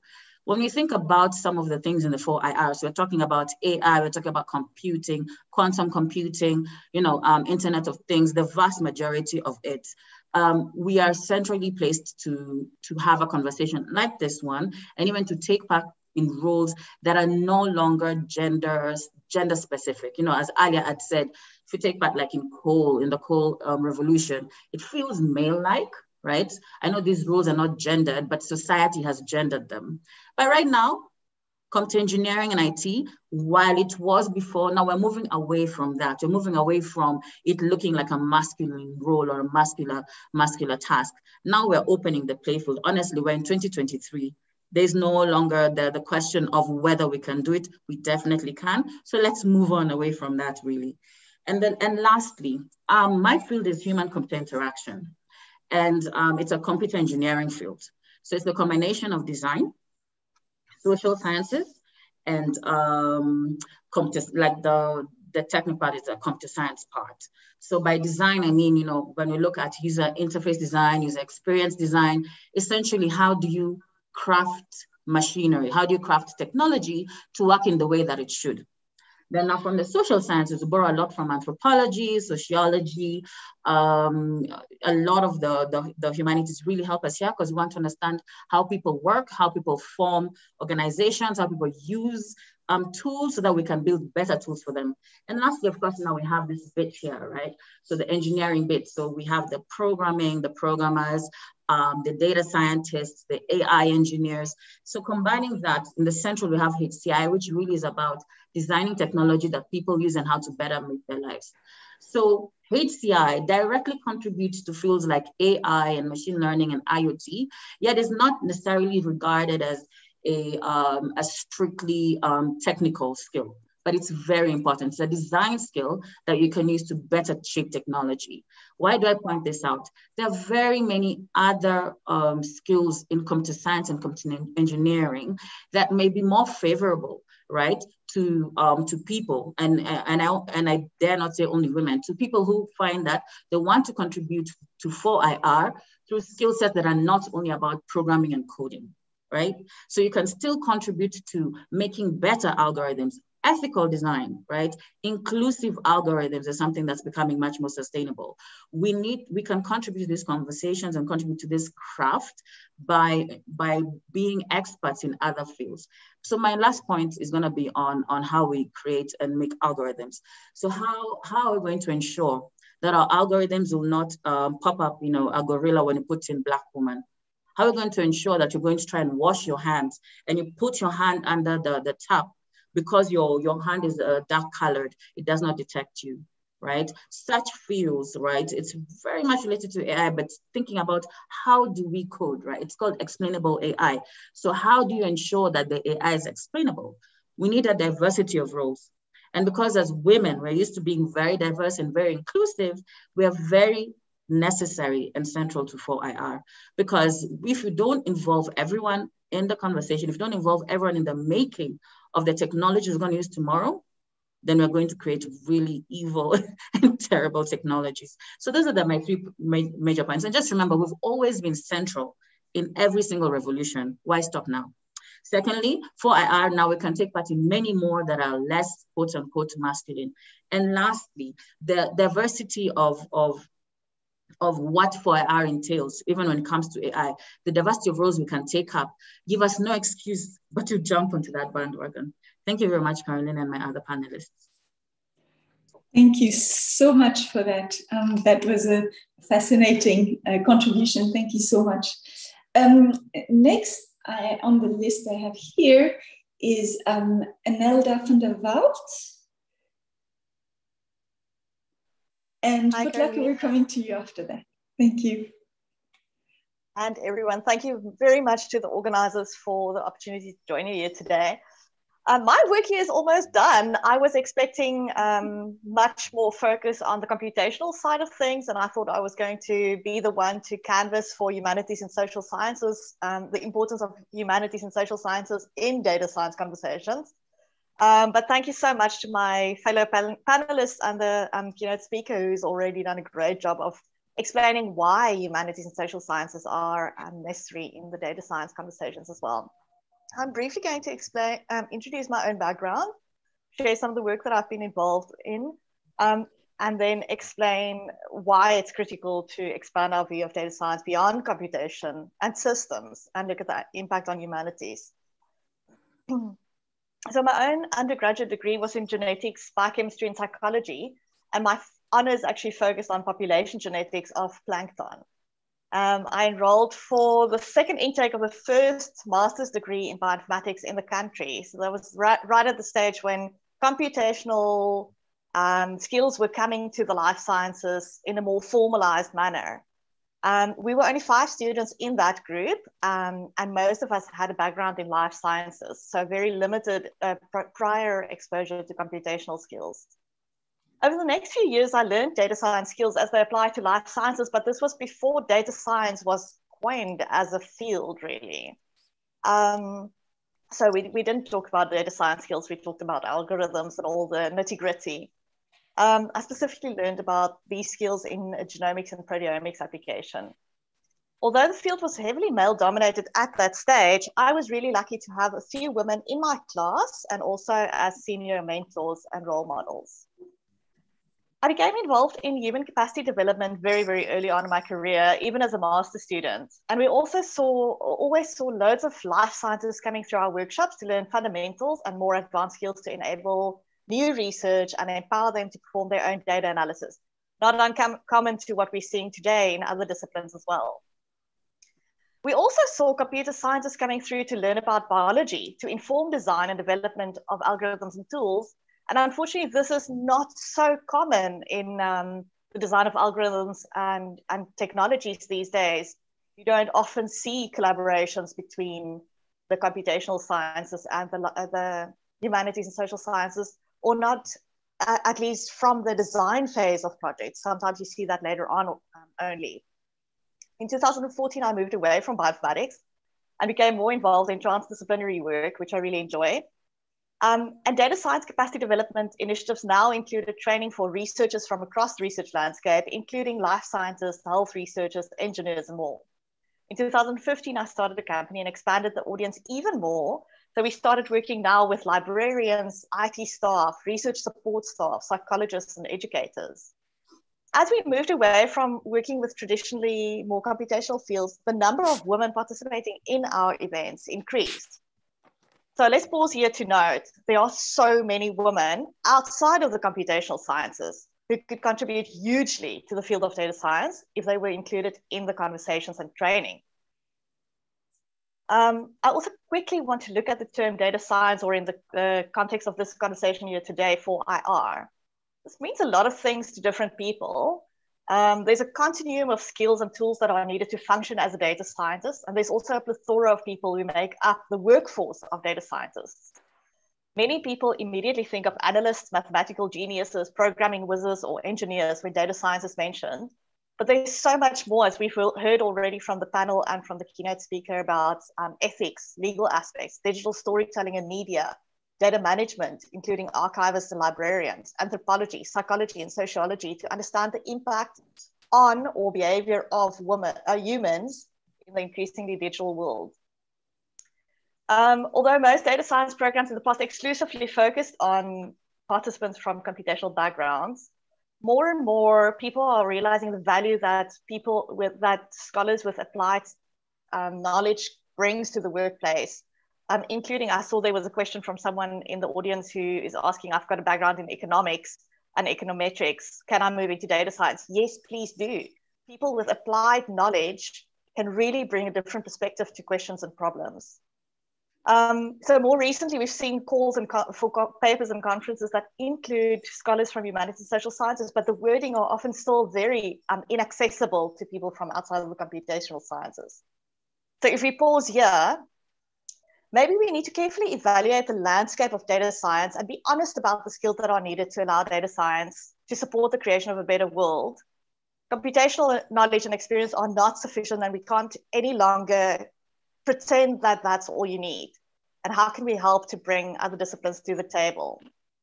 Just very quickly in South Africa, um, there are two programs that are specifically focusing on bringing humanities and social sciences um, closer to the, or well, to the table of data science conversations. The one is the National eScience Postgraduate Teaching and Training Platform, NEPTTP, launched in 2017, and they run um, an MA, a master's program specifically for uh, humanities and social sciences researchers uh, who wants to learn data science. And they, um, it's an 18 month program where they do some research and they learn programming in R and all kinds of things. So specifically for people with, um, with a master's, uh, with um, background in, in arts and, and social sciences. We also launched the Escalator program, and that is to help grow a community humanities and social sciences are along um, with data science skills. Um, and this is a very, very big program and includes a wide variety of activities and tracks. Um, but in 2021, we launched a, a, mentorship track specifically for women because we know that when we start talking about computational and digital skills, we lose women. Um, and this, this track attracted 30 women from 15 institutions, and we re uh, launching a second iteration um, next week, and hoping to attract more women there. Um, so my my message to the audience is: we need your skills, experience, and viewpoints, regardless of your background. Without it, we can't use data science to make this world a better place for everyone. If you have strong computational skills, there's so many opportunities to get involved and help teach and empower others from primary school coding clubs to youth employment initiatives, libraries, volunteering, and of course the Escalator program. So you can get in touch if you're interested to share your skills. If you're new to the field of data science, don't be afraid to ask. Partner with someone, find a mentor, a study buddy, much easier to learn together. Let us as African women be at the forefront of making data science inclusive and relevant to our communities in a responsible manner. Thank you. Wow, thank you. Thank you very much. Um, very informative. And, and again, I think it highlights this point that um, anybody can contribute to the 4IR and one doesn't need to be shaped through um, engineering and science and mathematics degrees. So this is really a very inclusive discussion already. So I'm really thrilled to hear that. Um, and uh, our uh, last panelist to still give um, input into this discussion is Potlako Makua. If you could please um, take it away and give us your thoughts. Okay, thanks, Carolina. Um, I think, like Anelda said, well, I mean, the ladies covered everything in and out. So um, I think I, I don't want to repeat certain points. So I think the, the only last thing I want to talk about, and I think I'm going to approach it more from also a humanitarian uh, point of view is um, now that you know the skills of data science are being addressed now that awareness is somehow being you know addressed and created and women are being motivated to take on careers in these fields i think one way that we can impact you know the fourth industrial revolution is to now start focusing also on with these skills that we're working so hard to to get you know with us trying so much to be part of you know this field that you know used to be male dominated right? Now that we are here we have an opportunity we have an equal voice. What can we do as women to change the world right?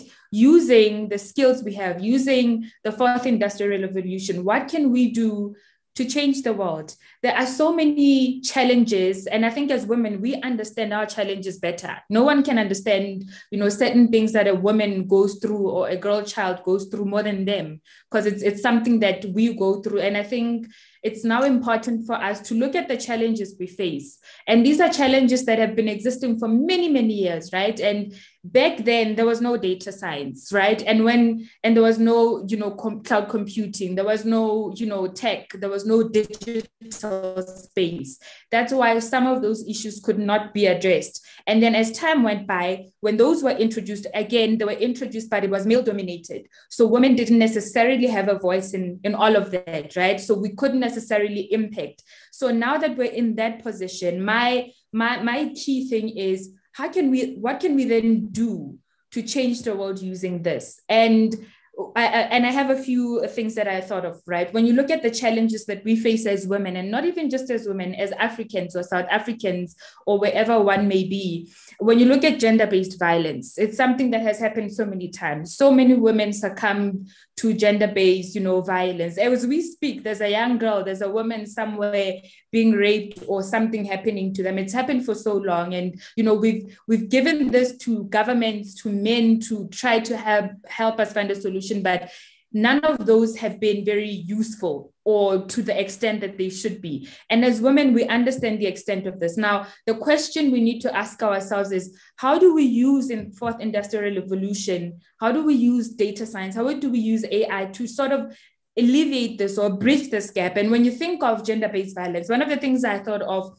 which is an application to fourth industrial revolution is imagine if there was, was an application right a chatbot application accessible to every woman whether you have a smartphone or not, it could be SMS based, right? Or USSD based where there's no charge.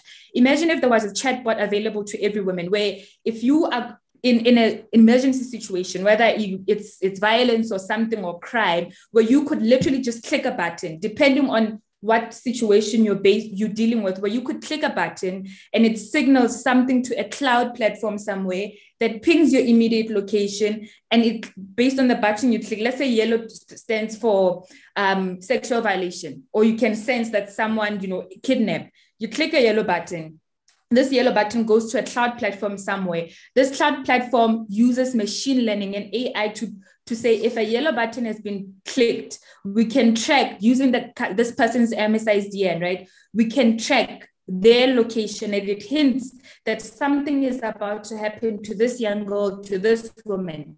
And you didn't have to do much. You know, that's data science, that's AI, that's cloud computing, and that's us using it to solve or to rather help make the issues of gender-based violence better. Imagine if something like that could be built using AI, robotics, and it, it could literally help change the world, you know, and, and that's one of the things. And another thing that I also thought of is when you think about electricity, someone mentioned something about electricity. I've been thinking about this electricity issue quite a lot. And I'm thinking to myself, you know, sometimes when load shedding happens, you only know one day before. And this is from a South African perspective, my apologies. Um, you sometimes it just switches off now when you look at power plants, they have efficiencies, they have maintenance. Can't there be some AI functionalities that are built which check the efficiency of a power plant? And then to see if the power plant's efficiency is sitting at, let's say the optimal is 80%. If it drops to 70%, can't it signal something somewhere?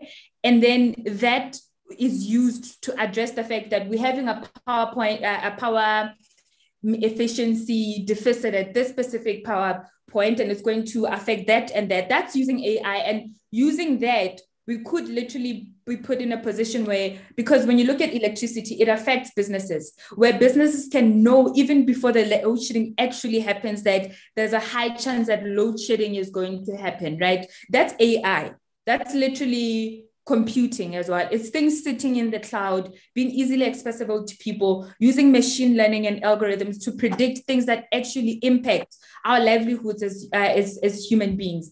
Um, another thing that I also thought of is when you also look at, and this is me addressing the challenges, when you look at poverty and when you look at poverty, and let's bring it down to how poverty affects women and young girls.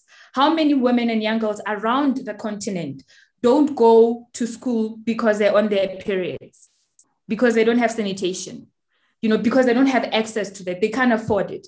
How many of them, as we sitting, have not been able to attend school for the past seven days because they don't have access to sanitation? Now, the question we need to ask ourselves as women who have the skills, who have the influence, how do we use the first industrial revolution to help bridge that gap?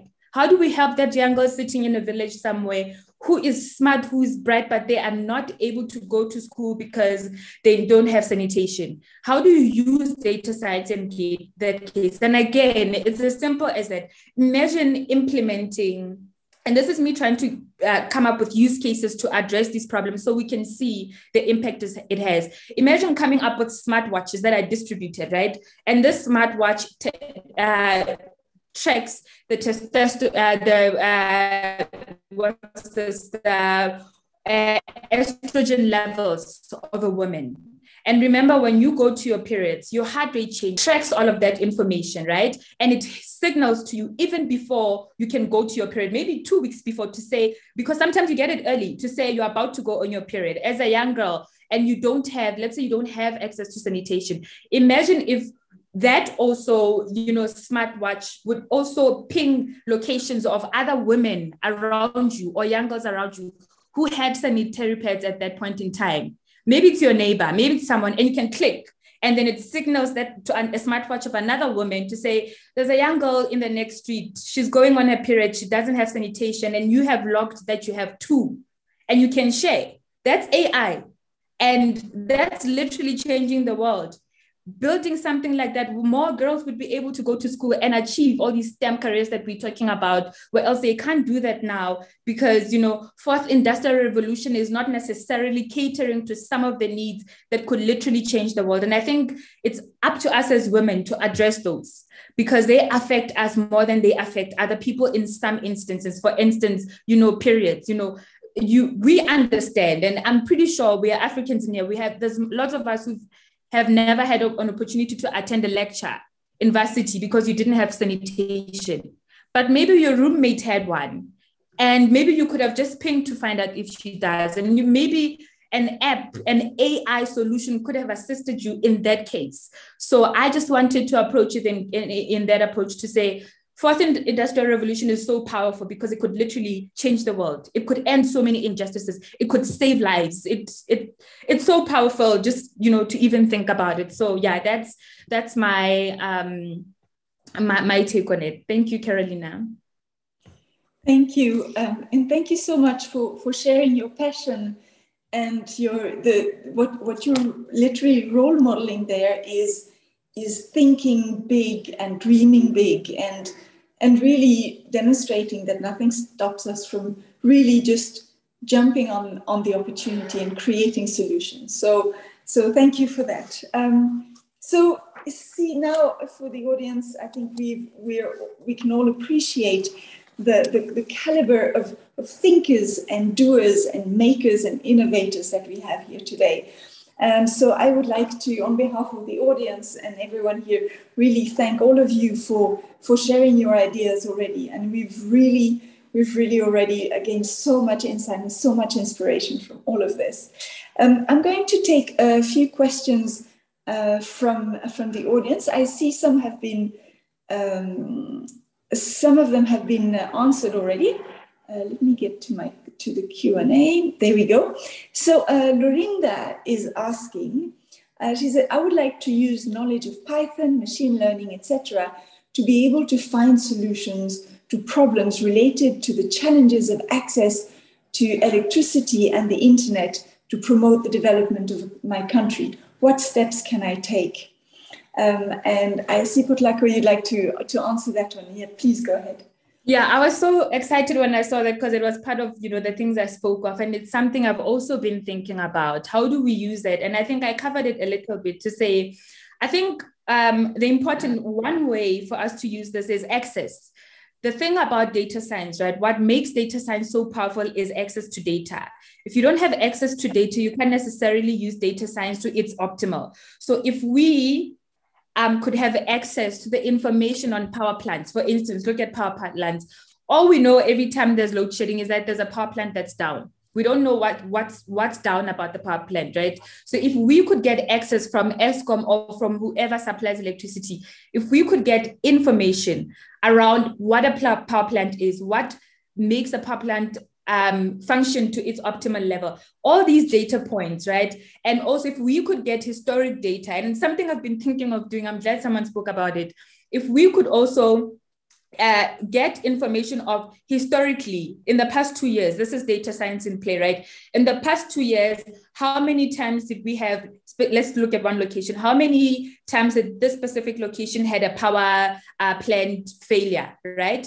And that's data points. And now when you dig deeper into things called features and data sciences you'll now say on on a failure of a power plant what features are key in that? What affects a power plant's failure right? Is it fuel? Is it this? Is it that? Is it heat?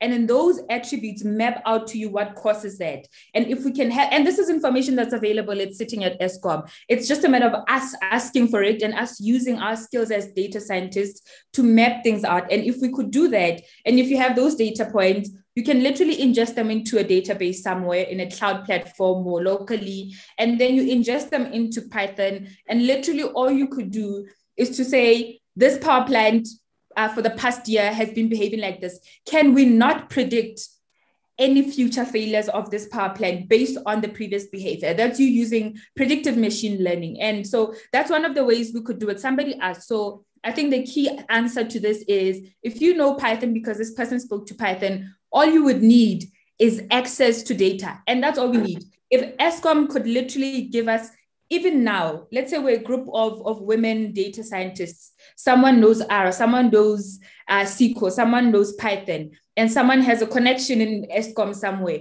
and we get access or we build a proposal, we say, we'd like to get data of your power plants, of your schedules, of every time that power was off we could literally use that data to build something so powerful. And that's literally all we need. Literally, the answer is data, access to data. That's how we could actually help to solve issues of electricity. And I hope I answered the question correctly. Thank you. Thank you very much. Um, I see that uh, Anelda has also answered the question. Um, maybe Anelda, you can you can uh, give your answer also by voice. Sorry, I'm on two devices trying to have sound and, and the visuals as well.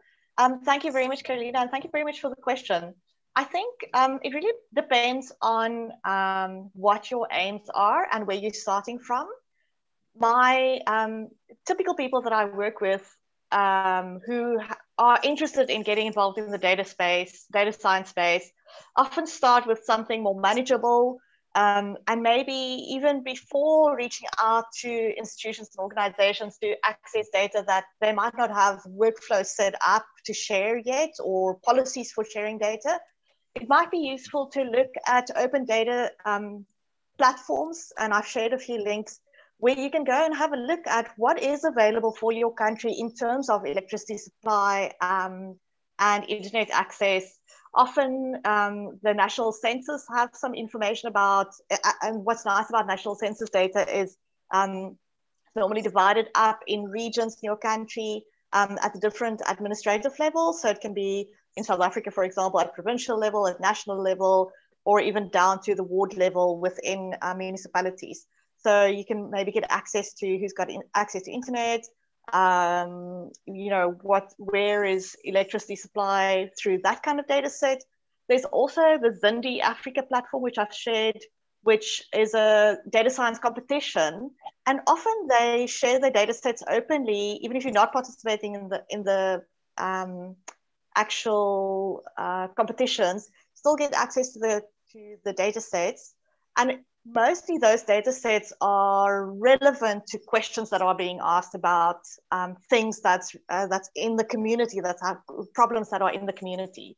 Um, and then if you are looking at Zindi Africa you can also get access to other solutions that are being developed in different programming languages by the community and participants in the competition. Um, I've also shared the humanitarian data exchange where there's data sets that are shared by humanitarian um, organizations, Red Cross um, and Gift of the Givers and, and, other organizations, which may be useful for questions related to electricity access. I know we were recently working on hospital data, um, looking at health facilities across Africa um, and the capabilities of the different health facilities. And some data sets do have information about whether those health facilities, for example, have electricity access. Uh, so, so I think really it depends on what your, what your, where you are at and where you want to go to consider how you will tackle that. Is it a big research project that you have funding for? Is it a small um, uh, kind of a first venture into data science for yourself? Do you have people that you want to collaborate with? Do you want a, a coding buddy to work with you? And then um, you can work from there. Thank you so much for that, uh, for that great comprehensive answer, Nelda. Um, I would like to just remind the audience who's watching the feed live on YouTube that um, you can also post questions in the YouTube chat. I'm keeping an eye on that as well. So if there are questions popping up there, um, I'll be able to um, uh, to, to pass them on to, to our panelists. Um, our next question comes from Tia Viljoen, who asks, how would you bridge the gap between getting a PhD in genetics and, bio, and bioinformatics slash data science? Um, where do you go back to? Is it at MSc level or where? And this question is uh, for you, Anelda. Thank you, Tia um, and Carolina. Um, yeah, again, really, it depends on what your timeline is and what your resources are. I mean, if you're if you need to um, earn money and you have a family, then I think your plan will look differently from when if you are um, young and you could sleep on your parents' couch, or you know just dig in full time and do you do a study course. Um, different MSCs also. I noticed um, someone else was asking I think it was Jane Toms asked, um, how do you choose a MSc program for in bioinformatics? And that really, really depends on what your ultimate goals is. What do you want to do with those skills? Is it um, like one of the panelists said to, to earn a better salary? Or is it because you have very specific interest in, in very specific questions? That will also depend on, um, that will also inform your decision about how to get into the bioinformatics space. Um, so the things that I've seen in the past is that it often works well if you get involved in a project that have a bioinformatician working on it and you ask to work closely with them um, so that you can start to see what it what their work involves maybe take on some of the smaller um, aspects of it that's uh, within the within your skill set and kind of start out with a mentor. Um, I would say going back to do an MSc again, really, I would only do that if I had lots of time and lots of money and didn't have a, the need to get into this quickly. You've got your applied knowledge. Sounds like you've got a PhD in genetics. Um, and picking up the skills can be through, again, study groups and taking online programming courses and getting involved in projects that have bioinformatics components um, and taking on small tasks um, under mentorship and guidance. Yeah, I, so many ways to do it. It really depends on, on what you want to achieve and where you're at. Great. Um, thank you so much, um, Anelda, for that. I think you've also answered um, Jane Tom's question there because that, that question is now in, in answered. Um, I would just like to add something to your answer, if I may to Jane Thompson, who's in Kenya and would like to do bioinformatics. I would like you to, to I would like to point you to a project called um, H3A Bionet. So this is a Pan-African um, African genetics analysis, but H3A uh, project, a research project, but H3A, H3A Bionet, um, the website is h3abionet.org, have a lot of training courses that they run Pan African um, um, bioinformatics classes. Um, so I really recommend you you look and they've they've they, they run them remotely, but also with local instructors. And I know there are quite a few in Kenya. So, so uh, please do take a look at that. Um, we have a question from uh, Amanda Skuzana uh, who says, can we also talk about lack of information about data science within universities? Uh, in my university, um, they only share much needed um, to data science to the STEM group, and we are only fed the end product, which is really challenging. I think this is a, a very good question. So, um, who, uh, yeah, Potlako says she would like to answer this question. Please go ahead. Um, yes, I think, you know, this misinformation about data science, honestly, it's not even just in universities even when you get to the workforce, you'll actually begin to realize that it's highly, highly misunderstood. You know, that sometimes you look at a job post and it will say data science and you read description and it's something completely different, right? And I think even in high school level, I think the main thing about data science is it's something that needs to be educate education around it needs to be created, not even from a university level because by then some time to some extent it's, it's somehow too late right? Imagine you went for an engineering degree or or something that you didn't really feel passionate about because you didn't know what options you have available. And then you find out about data science on your third year right? When you could have found out about data science in high school when you were still choosing your subjects. Then it at least makes it easier for young people to make informed decisions about what data science is. I think awareness around what data science is because it's it's it's an old but new field. If if that makes sense, I think someone covered this to say back then it was just called algorithms. But then the name around it, AI, data science, is something very recent. For instance, in my case, um, I finished my degree in 2017 um, and I only knew what data science was that year when I was doing my third year. I was doing my um, astrophysics and astronomy, and I was working with Bonita at SKA. That was the first time ever in my life I found out that there's something called data science. And to my surprise, when you look at data science and big data, it's lots of data. And I thought to myself, I've been studying in astrophysics, studying space, studying stars. That's big data. That's something I should have known. So I think awareness needs to be created around this from a very early age, high school level, even primary. If kids can know about astronauts and doctors when they're in primary, why can't they know about data scientists, right? And I think because it's such a new field, it's also our responsibility now as the people who are aware about this, people who can actually influence it. It's our responsibility to come up with initiatives because no, no one is going to do it, do it for us, to come up with initiatives that create awareness around this.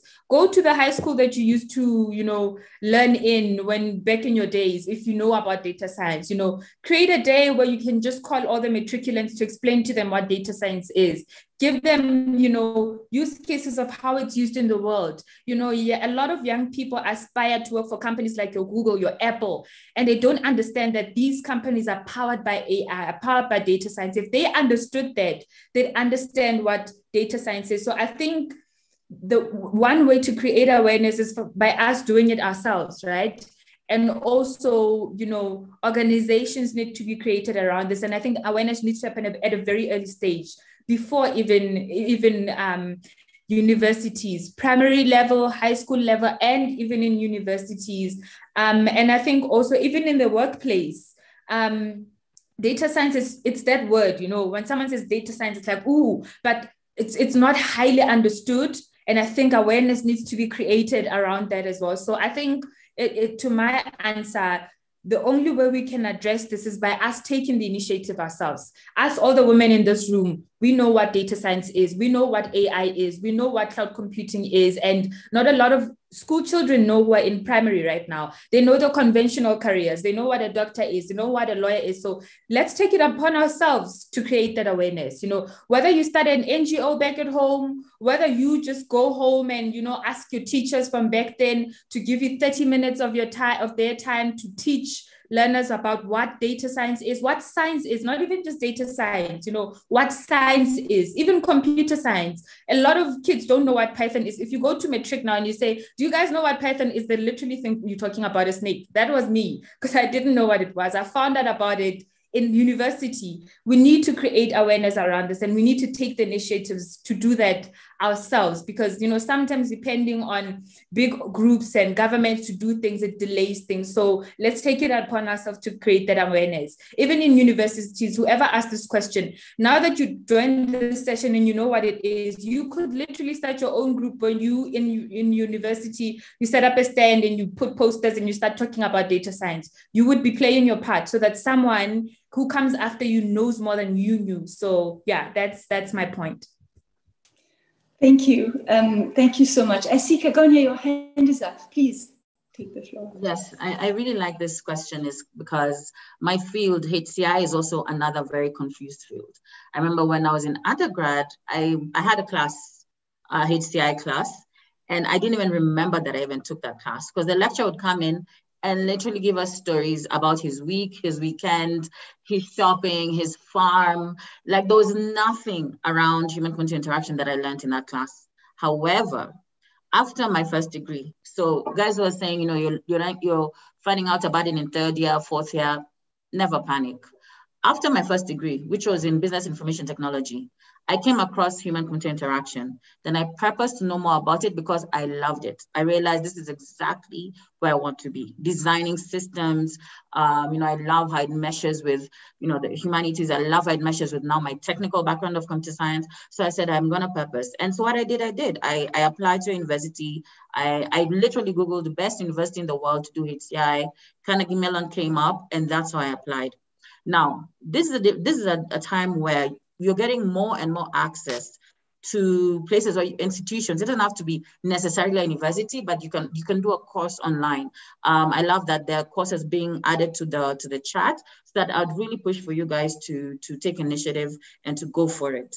So when you do find out that your that your university is not giving you a pure data science um, or or you know machine learning course, take initiative yourself. There's no excuse. Not wait for the university to change or for the dean to come up and say that they've corrected everything. Now that you know, do something about it. Literally, your future is in your hands, right? And do like apply. If you if you if you want to go to for a master's, apply. Apply to 2030 and get in. If you don't get into a master's, look for another course that you can do. Seek out the people here. I love that you guys are forming these coding groups. I can see in the chat. Reach out to the panelists, ask which one can I do and do it. So you really have to take initiative. Another thing, so I now work at Microsoft. There are different types of um, roles, right? So there's the data analysts. I think someone here said they've done Power BI and data analytics awesome. There's data scientists that we look for. There's machine learning engineers, and then there's AI engineers. Those are four different, and there are more. I'm only mentioning four for now, right? So find which one you want to be and start there.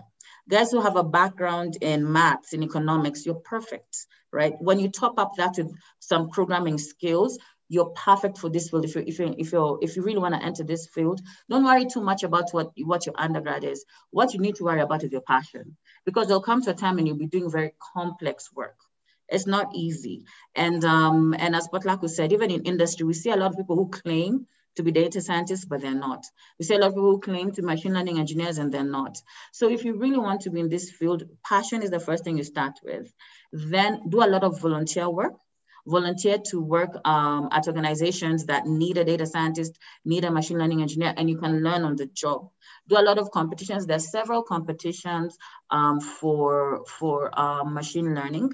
So do a lot of those, and and and some of these competitions lead to money. So that's a very good motivator too. Um, I'll try and get the link for the. I'll, I'll post the link in the chat, so you can you know, partner with a few of the coding buddies you've just created, take part in a competition, make sure you you you brush your skills. And it's a global rota. So you're completely competing with people internationally, right? So my challenge, honestly, is it's up to you. Um, I'm someone who, if I want something, I'll go for it. So it's not about sitting down and saying, oh, excuse this, excuse that. Do you really want it? Then go for it. So I'll post some links here and you can take these global competitions are very good because they help you to kind of grow, grow with time. And it doesn't matter your age. You can start at 16, start at 18, start at 35, start at 40. What's most important is your passion. Yeah. Wow, thank you for that. Um, very, very important input. Um, and I love the message of you know, if you see something, just apply. Um, I, I, think it's fantastic that you just you looked for the best, found Carnegie Mellon, and just went for it. It's just it's a fantastic thing to do. Um, I see. Uh, so we we just have a question that's come through YouTube, and then Gugulethu, I'll come to you after this. This question is: Please share uh, links to competitions and projects for women in data science and, and geoinformatics. Um, I I, I, think so geoinformatics this is slightly different so if you could just post um, a couple of those links that would be great and then we could maybe copy them into the into the youtube chat um, Gugulethu, your hand is up. Please take it away. Uh, thanks carolina. So there are two questions that i uh, i came across. One was in the chat and the other one i see is uh, from felicia. The other one that was from the chat is um, what are the key challenges of the 4IR in Africa? Which is something that uh, when I started my, uh, my uh, introduction earlier, it's something that I also alluded to. And with the one from Felicia, um, she says, unfortunately, few are aware of artificial intelligence or machine learning and associated with a threat of, to humans how can we overcome this barrier and lack of information or knowledge on this topic? So I'm going to try to just uh, fuse the two questions together, starting with the key challenges, of course. The first one, uh, as women, we know that the STEM field is a field that is uh, male dominated, or it's, it's the stigma is that, oh, if you're a lady, you can go to nursing, teaching, all of those, but we were never encouraged to do engineering and, and, and in such a way that uh, I don't know what it is, but um, as girls grow older, their priorities kind of change. And funny enough, the boys in the class will become more technically inclined to pursue this, um, this uh, subjects. So my suggestion is the first thing that we can do as women is to break that bias.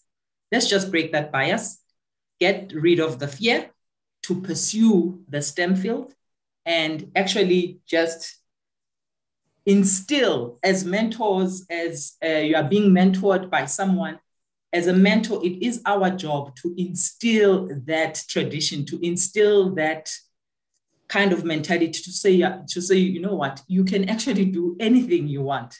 And um, so the, the, the, now coming to uh, Felicia's um, question, the challenge that I have seen in my work life is that yes, we've got girls who will graduate with an MSc in physics, in computer science, in, in, in all of those fields. But once you give them a project that involves coding, that involves software development or application development or web development, then they run away. And then you now realize that it's the fear, as much as this person has studied to this level, there's still that little thing that is holding them back. Now, that unfortunately is up to the individual as well to take charge of, you know what? I'm done with uh, uh, entertaining this fear. I'm done with entertaining this imposter syndrome. I have been here. I have achieved my MSc. It means I can do it. So you just dive in. The fear, just take it away. The stigma, take it away. Just break the bias. And then to come back to the key challenges of for industrial revolution. So the first one was that one of uh, the stigma around the STEM field being a male, in being a male field. The other one, which is what uh, Potlako was uh, talking to, is the lack of infrastructure. If you think about it, I'm going to talk about South Africa now. We are still stuck in the third one. A bit in the fourth uh, revolution, but we are still stuck in the third one, which is now the lack of supply for, in, for the whole of uh, the South African uh, hemisphere, number one. Without electricity, there's no water. Without water, we can't generate electricity. We cannot have internet. So there's still a lot of challenges. And I don't know whether it applies. I know it applies to most of uh, the, the, the, African continents, uh, the countries in the African continents, but those are still our challenges. Now, as uh, has said, uh, it's something that we need to address. And uh, because it's a problem that affects all of us, whether we, we like it or not. So now how we overcome this uh, barrier of lack of information or knowledge, first of all, don't only depend on the teacher, do the work yourself, get a mentor in the same field, get friends in the same field, study, read, understand, apply bit by bit, and then the barriers will be slowly but surely broken. Break the bias, ladies. Let's break the bias. Thank you. Thank you. Thank you so much to all our panelists for fantastically deep and thoughtful answers uh, to these great questions. Uh, and also thank you to the audience for your questions. Um, and I'm very glad that, uh, that we've been able to have such a, such a great conversation. Um, so now for the last um, half an hour of this session, we're just going to go around all of our panelists as well for, um, for concluding words. Um, yeah, breaking the bias, love that. Um, and uh, but I would just like uh, to just mention just four points that I that I take from all the input, the incredible input that we've received. Um, other than you know the incredible resources that have been shared, is that well, firstly there is a wealth of opportunities, and these opportunities are growing also in Africa and for Africans. So it's, it's, it's happening right here, and that's very important. So it's, it's key for, for young African women to grab these opportunities and make their mark. And uh, because, because as women, we have, we have other perspectives, we have things to contribute. The second point is to feel confident to create those opportunities for oneself. Um, and um, you know, like applying for programs that that I don't know, maybe there's maybe we think there's not a big chance to be accepted, and then one day we are. Excuse me. And also, um, if we're not accepted, it's not a judgment on who we are. We feel confident, we keep applying, we keep growing, uh, but also seeking mentors and peers. And I, I, I think our, our panelists today really have shown what kind of mentors they are, you know, leading from the heart and, and leading by doing. I mean, thank you so much for, for this incredible leadership that we've seen today. And another message that I get from all of this is to dare to change the world, dare to be ambitious, and dare to go out there and make it happen. So for the for the for the last uh, round, I would like to to go go around the, the table again, and maybe um, we'll do it in the other in the other the other way around. Start. So we'll start with Potlako. If you could, if you if you have a few concluding words to share with us. Um, I think for me, I'm just so inspired to be honest. Um, everything that the ladies have spoken about is honestly, I literally feel like the um, you know, people who are listening. I I'm just listening. I'm like, you know, wow. And I think the last thing I would want to say to everyone in this room, especially you know the young ladies who probably going to be in the same path as me, is um, honestly, and it's something that Gugu just said, and it's I think it's so important. A lot of us tend to sit to wait for uh, events or things or initiatives to come to us for information. And in reality, Gugu literally just said it now. You have to take it upon yourself, right? You have to stand up and say, This is what I want to do. This is what I want to achieve. Go and find a mentorship yourself. Don't wait for a mentorship program to pop up from somewhere. Because sometimes by the time it pops up, it's too late. So if you're passionate about something, you want to learn something, my my biggest advice to you is be a person, be a woman who believes in themselves enough to take initiative when it has to happen. And that's the best thing you can ever do for yourself. And uh, speaking to Giriboni asked me, how did I transition into data science? It's exactly that. I took the initiative to say, when I was doing my third year, I heard about this thing called data science.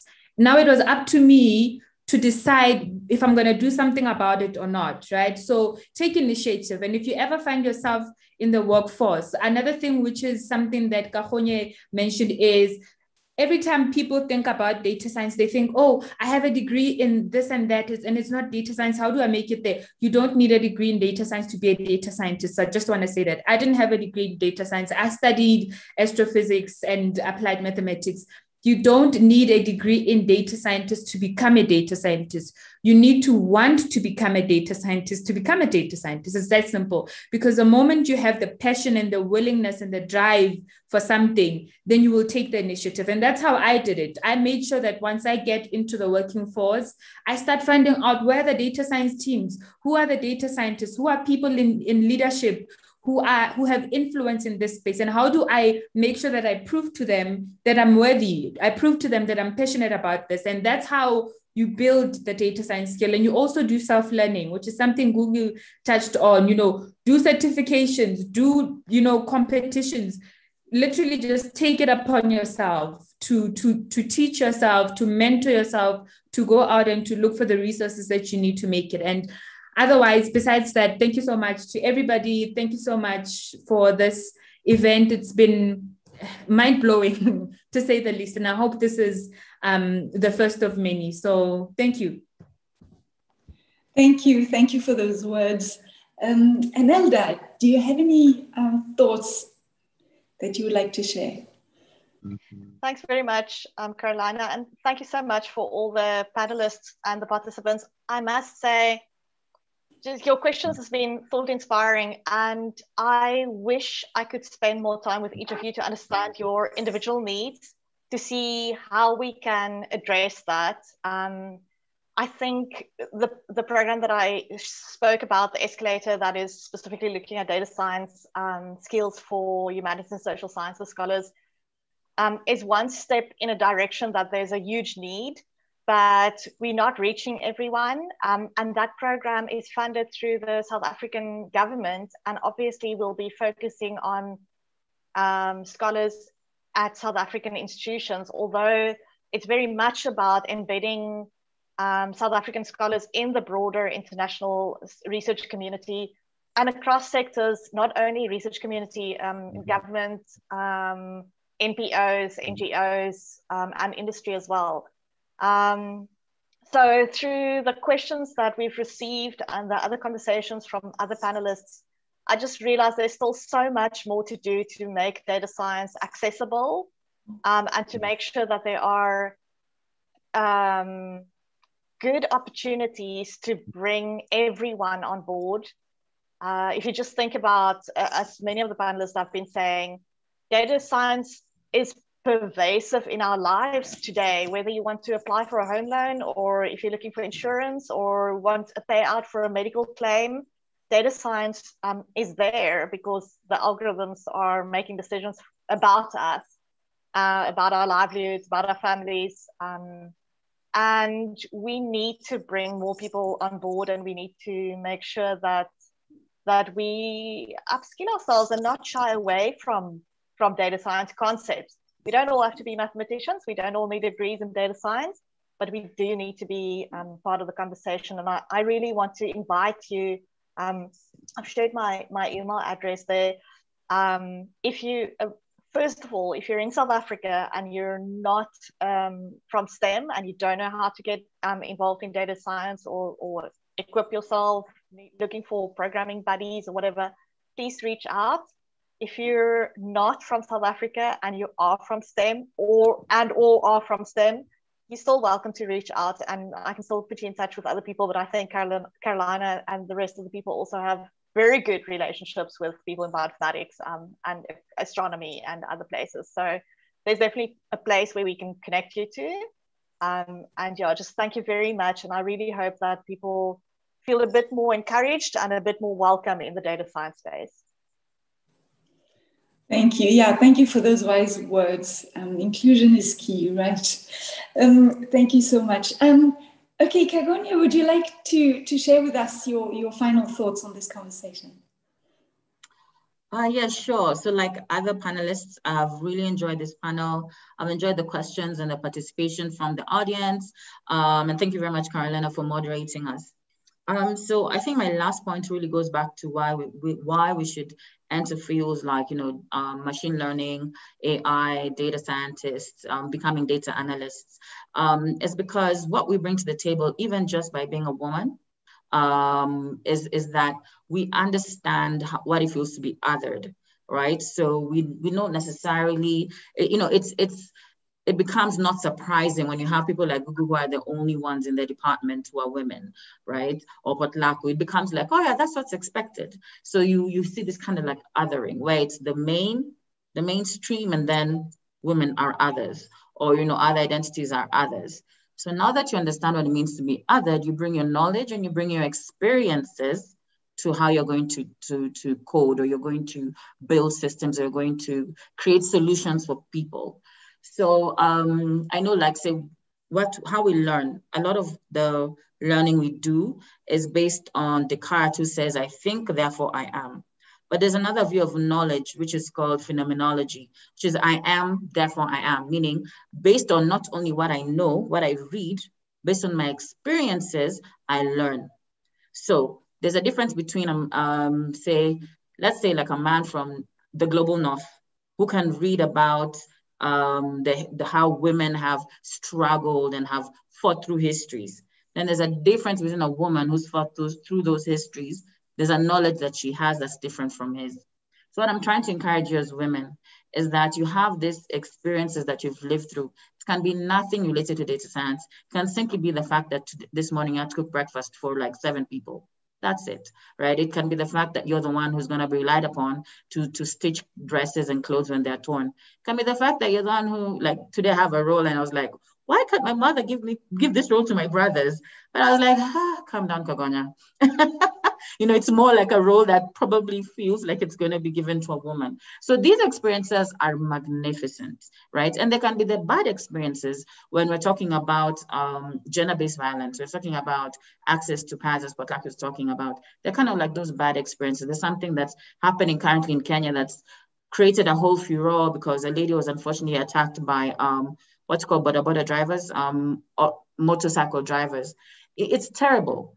Now, these experiences that we have witnessed, that our friends go through, our families go through, we bring them into the solutions we make, right? So because you, you know what it feels like to be othered, yeah? When I studied out of my country as a Black woman, I know what it feels like to be othered. I bring, I turn this, make lemonade, and then I develop it into the systems I design so that no one else has to feel that othering. No other man, no other woman, no other white, black, you know, person, whatever the race, no one has to be to feel that othering. So it's really that's why you need to be in data science. That's why you need to be in machine learning. That's why we need you to create these algorithms and these solutions because you know what it feels like to be othered. So that's my final word to all of you. Thank you. Thank you for this very important point and, uh, and the value of, of experiences that have been historically terribly undervalued. So thank you for that. Um, Cherise, would you would you like to share with us your your thoughts um, on this conversation, please? Yes, please. Thank you, Carolina, and thank you so much to the organizers and the, these uh, remarkable panelists that have been here with me today and the audience. It's just it's always so inspiring to hear other people's experiences, and it really reinforces my strength to do what I can um, to bring about change. And I was thinking, you know, my vision for changing the status quo here really involves women who currently play a role in STEM continuing as they've been doing today to be vulnerable, being open about challenges in their fields, raising their voices, being heard, and connecting more with other women in STEM and allies who want to see a more inclusive society. And it's wonderful to see that really happening in the chat already. So, taking initiatives, if, if you don't see something happening in your space or your institution, be brave, be the one to start it, find a mentor, be a mentor yourself. Um, it, you know, it, it, we are all just a network for each other there for support.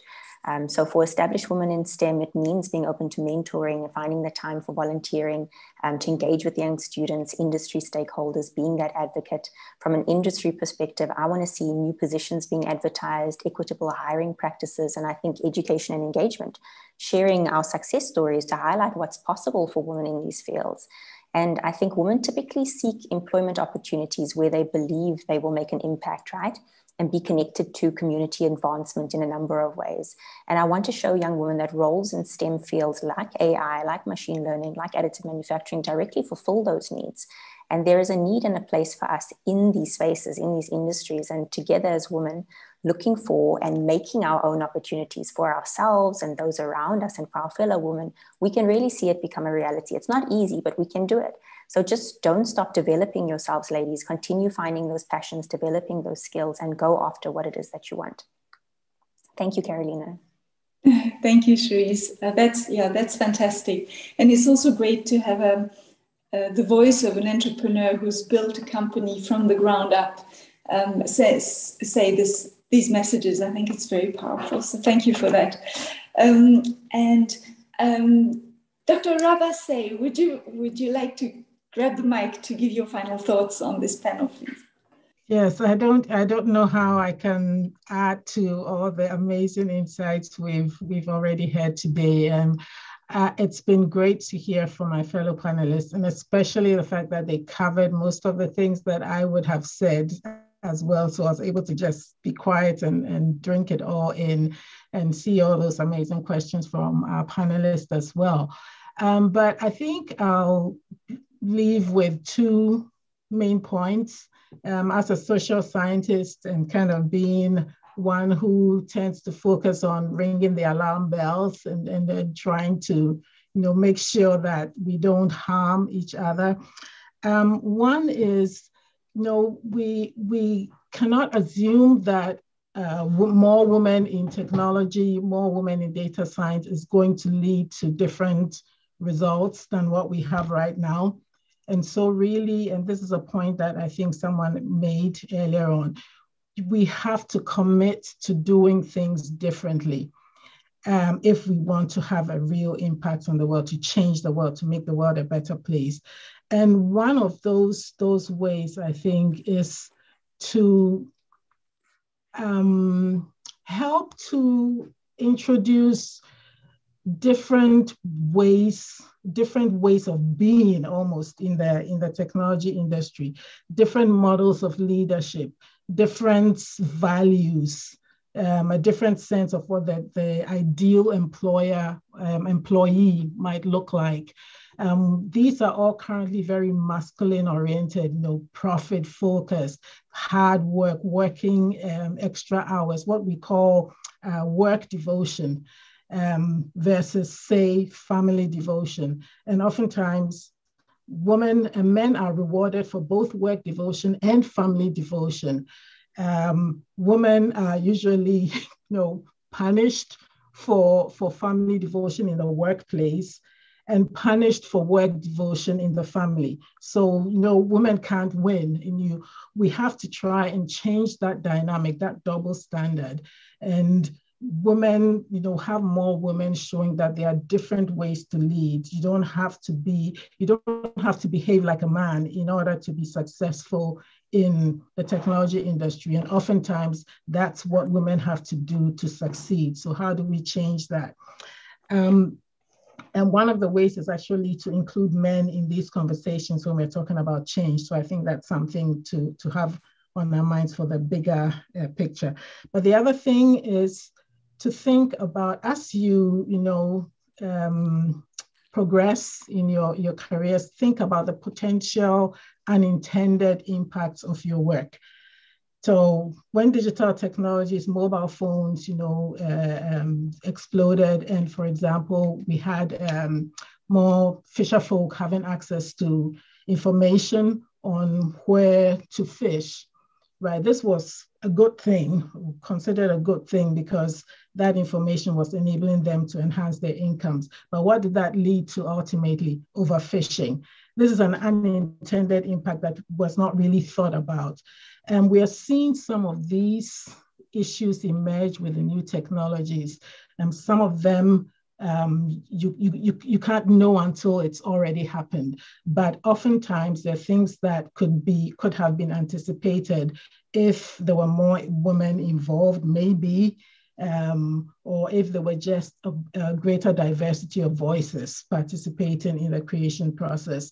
So I would really urge all the, the young data scientists who are, are with us today that as you progress with your work, keep thinking about and, and, and being conscious of and sensitive to the potential negative impacts of your work. That will help reduce the fears that people have about uh, AI, for example, as a threat to, to humanity. Thank you. Thank you. Thank you so much for raising those very, very um, important points. Um, and uh, yeah, so potential unintended consequences is something we haven't really had an opportunity to talk about a lot. So thank you for mentioning that.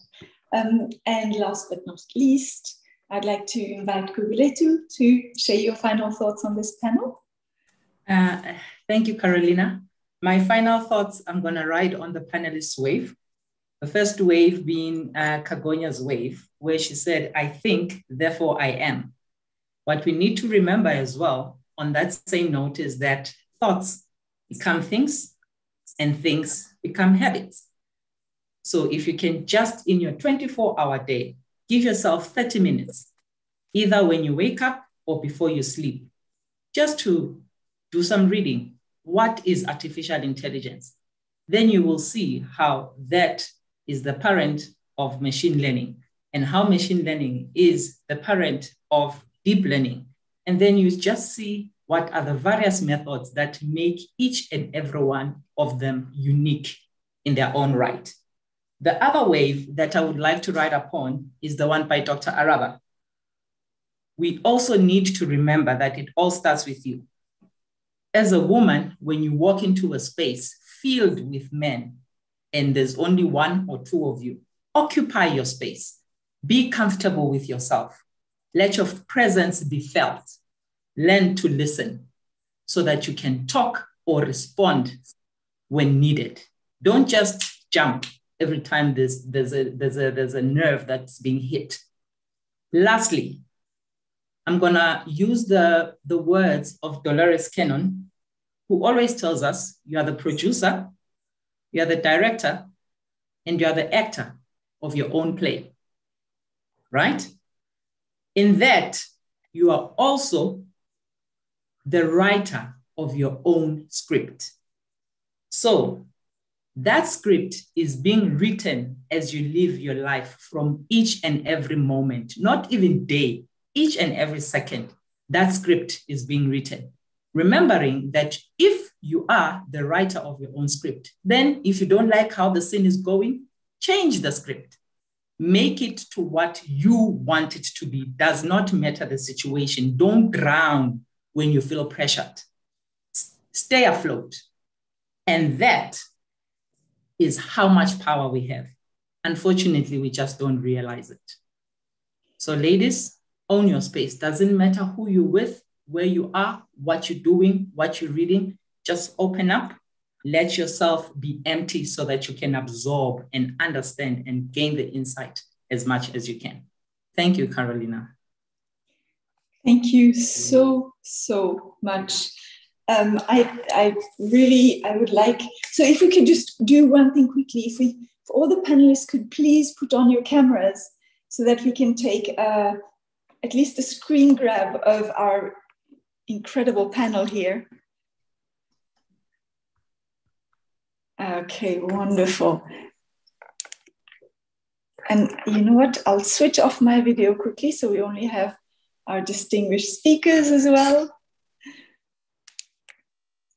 Fantastic. Thank you so, so much. Um, this has truly been incredibly inspiring. Um, and I really thank all of you from the bottom of my heart for taking the time uh, because, ironically, International Women's Day is one of the busiest days for women around the world because there are so many events. And I think, you know, all of this visibility and these conversations need to be spread over the whole year. Um, and um, and and so so thank you for taking the time to share your insights and to to the audience who who came and listened and and seized the opportunity that we've got by having these incredible women here um, and, and I would like just maybe just one last little thing that I would like to, to tell the audience is also to, to be kind to yourselves. Because this incredible uh, panel that we have here today, these women who have phenomenal achievements, who have created things, have had an impact on the world, created employment, changed people's lives, mentored young people. Um, I can guarantee you that none of them and none of us are where we are today without stumbling along the way. And so if if there are challenges and if there are roadblocks and if you stumble along the way and you if you fall it's okay. Um, and it doesn't ever write off your future um, success. Um, and so so really thank you so much to the panelists. Thank you to the audience. Um, i just want to see if there's we have one more minute i see there's yeah there's more um, thank yous coming in the chat and in the Q&A. I think everyone is, is really on a high.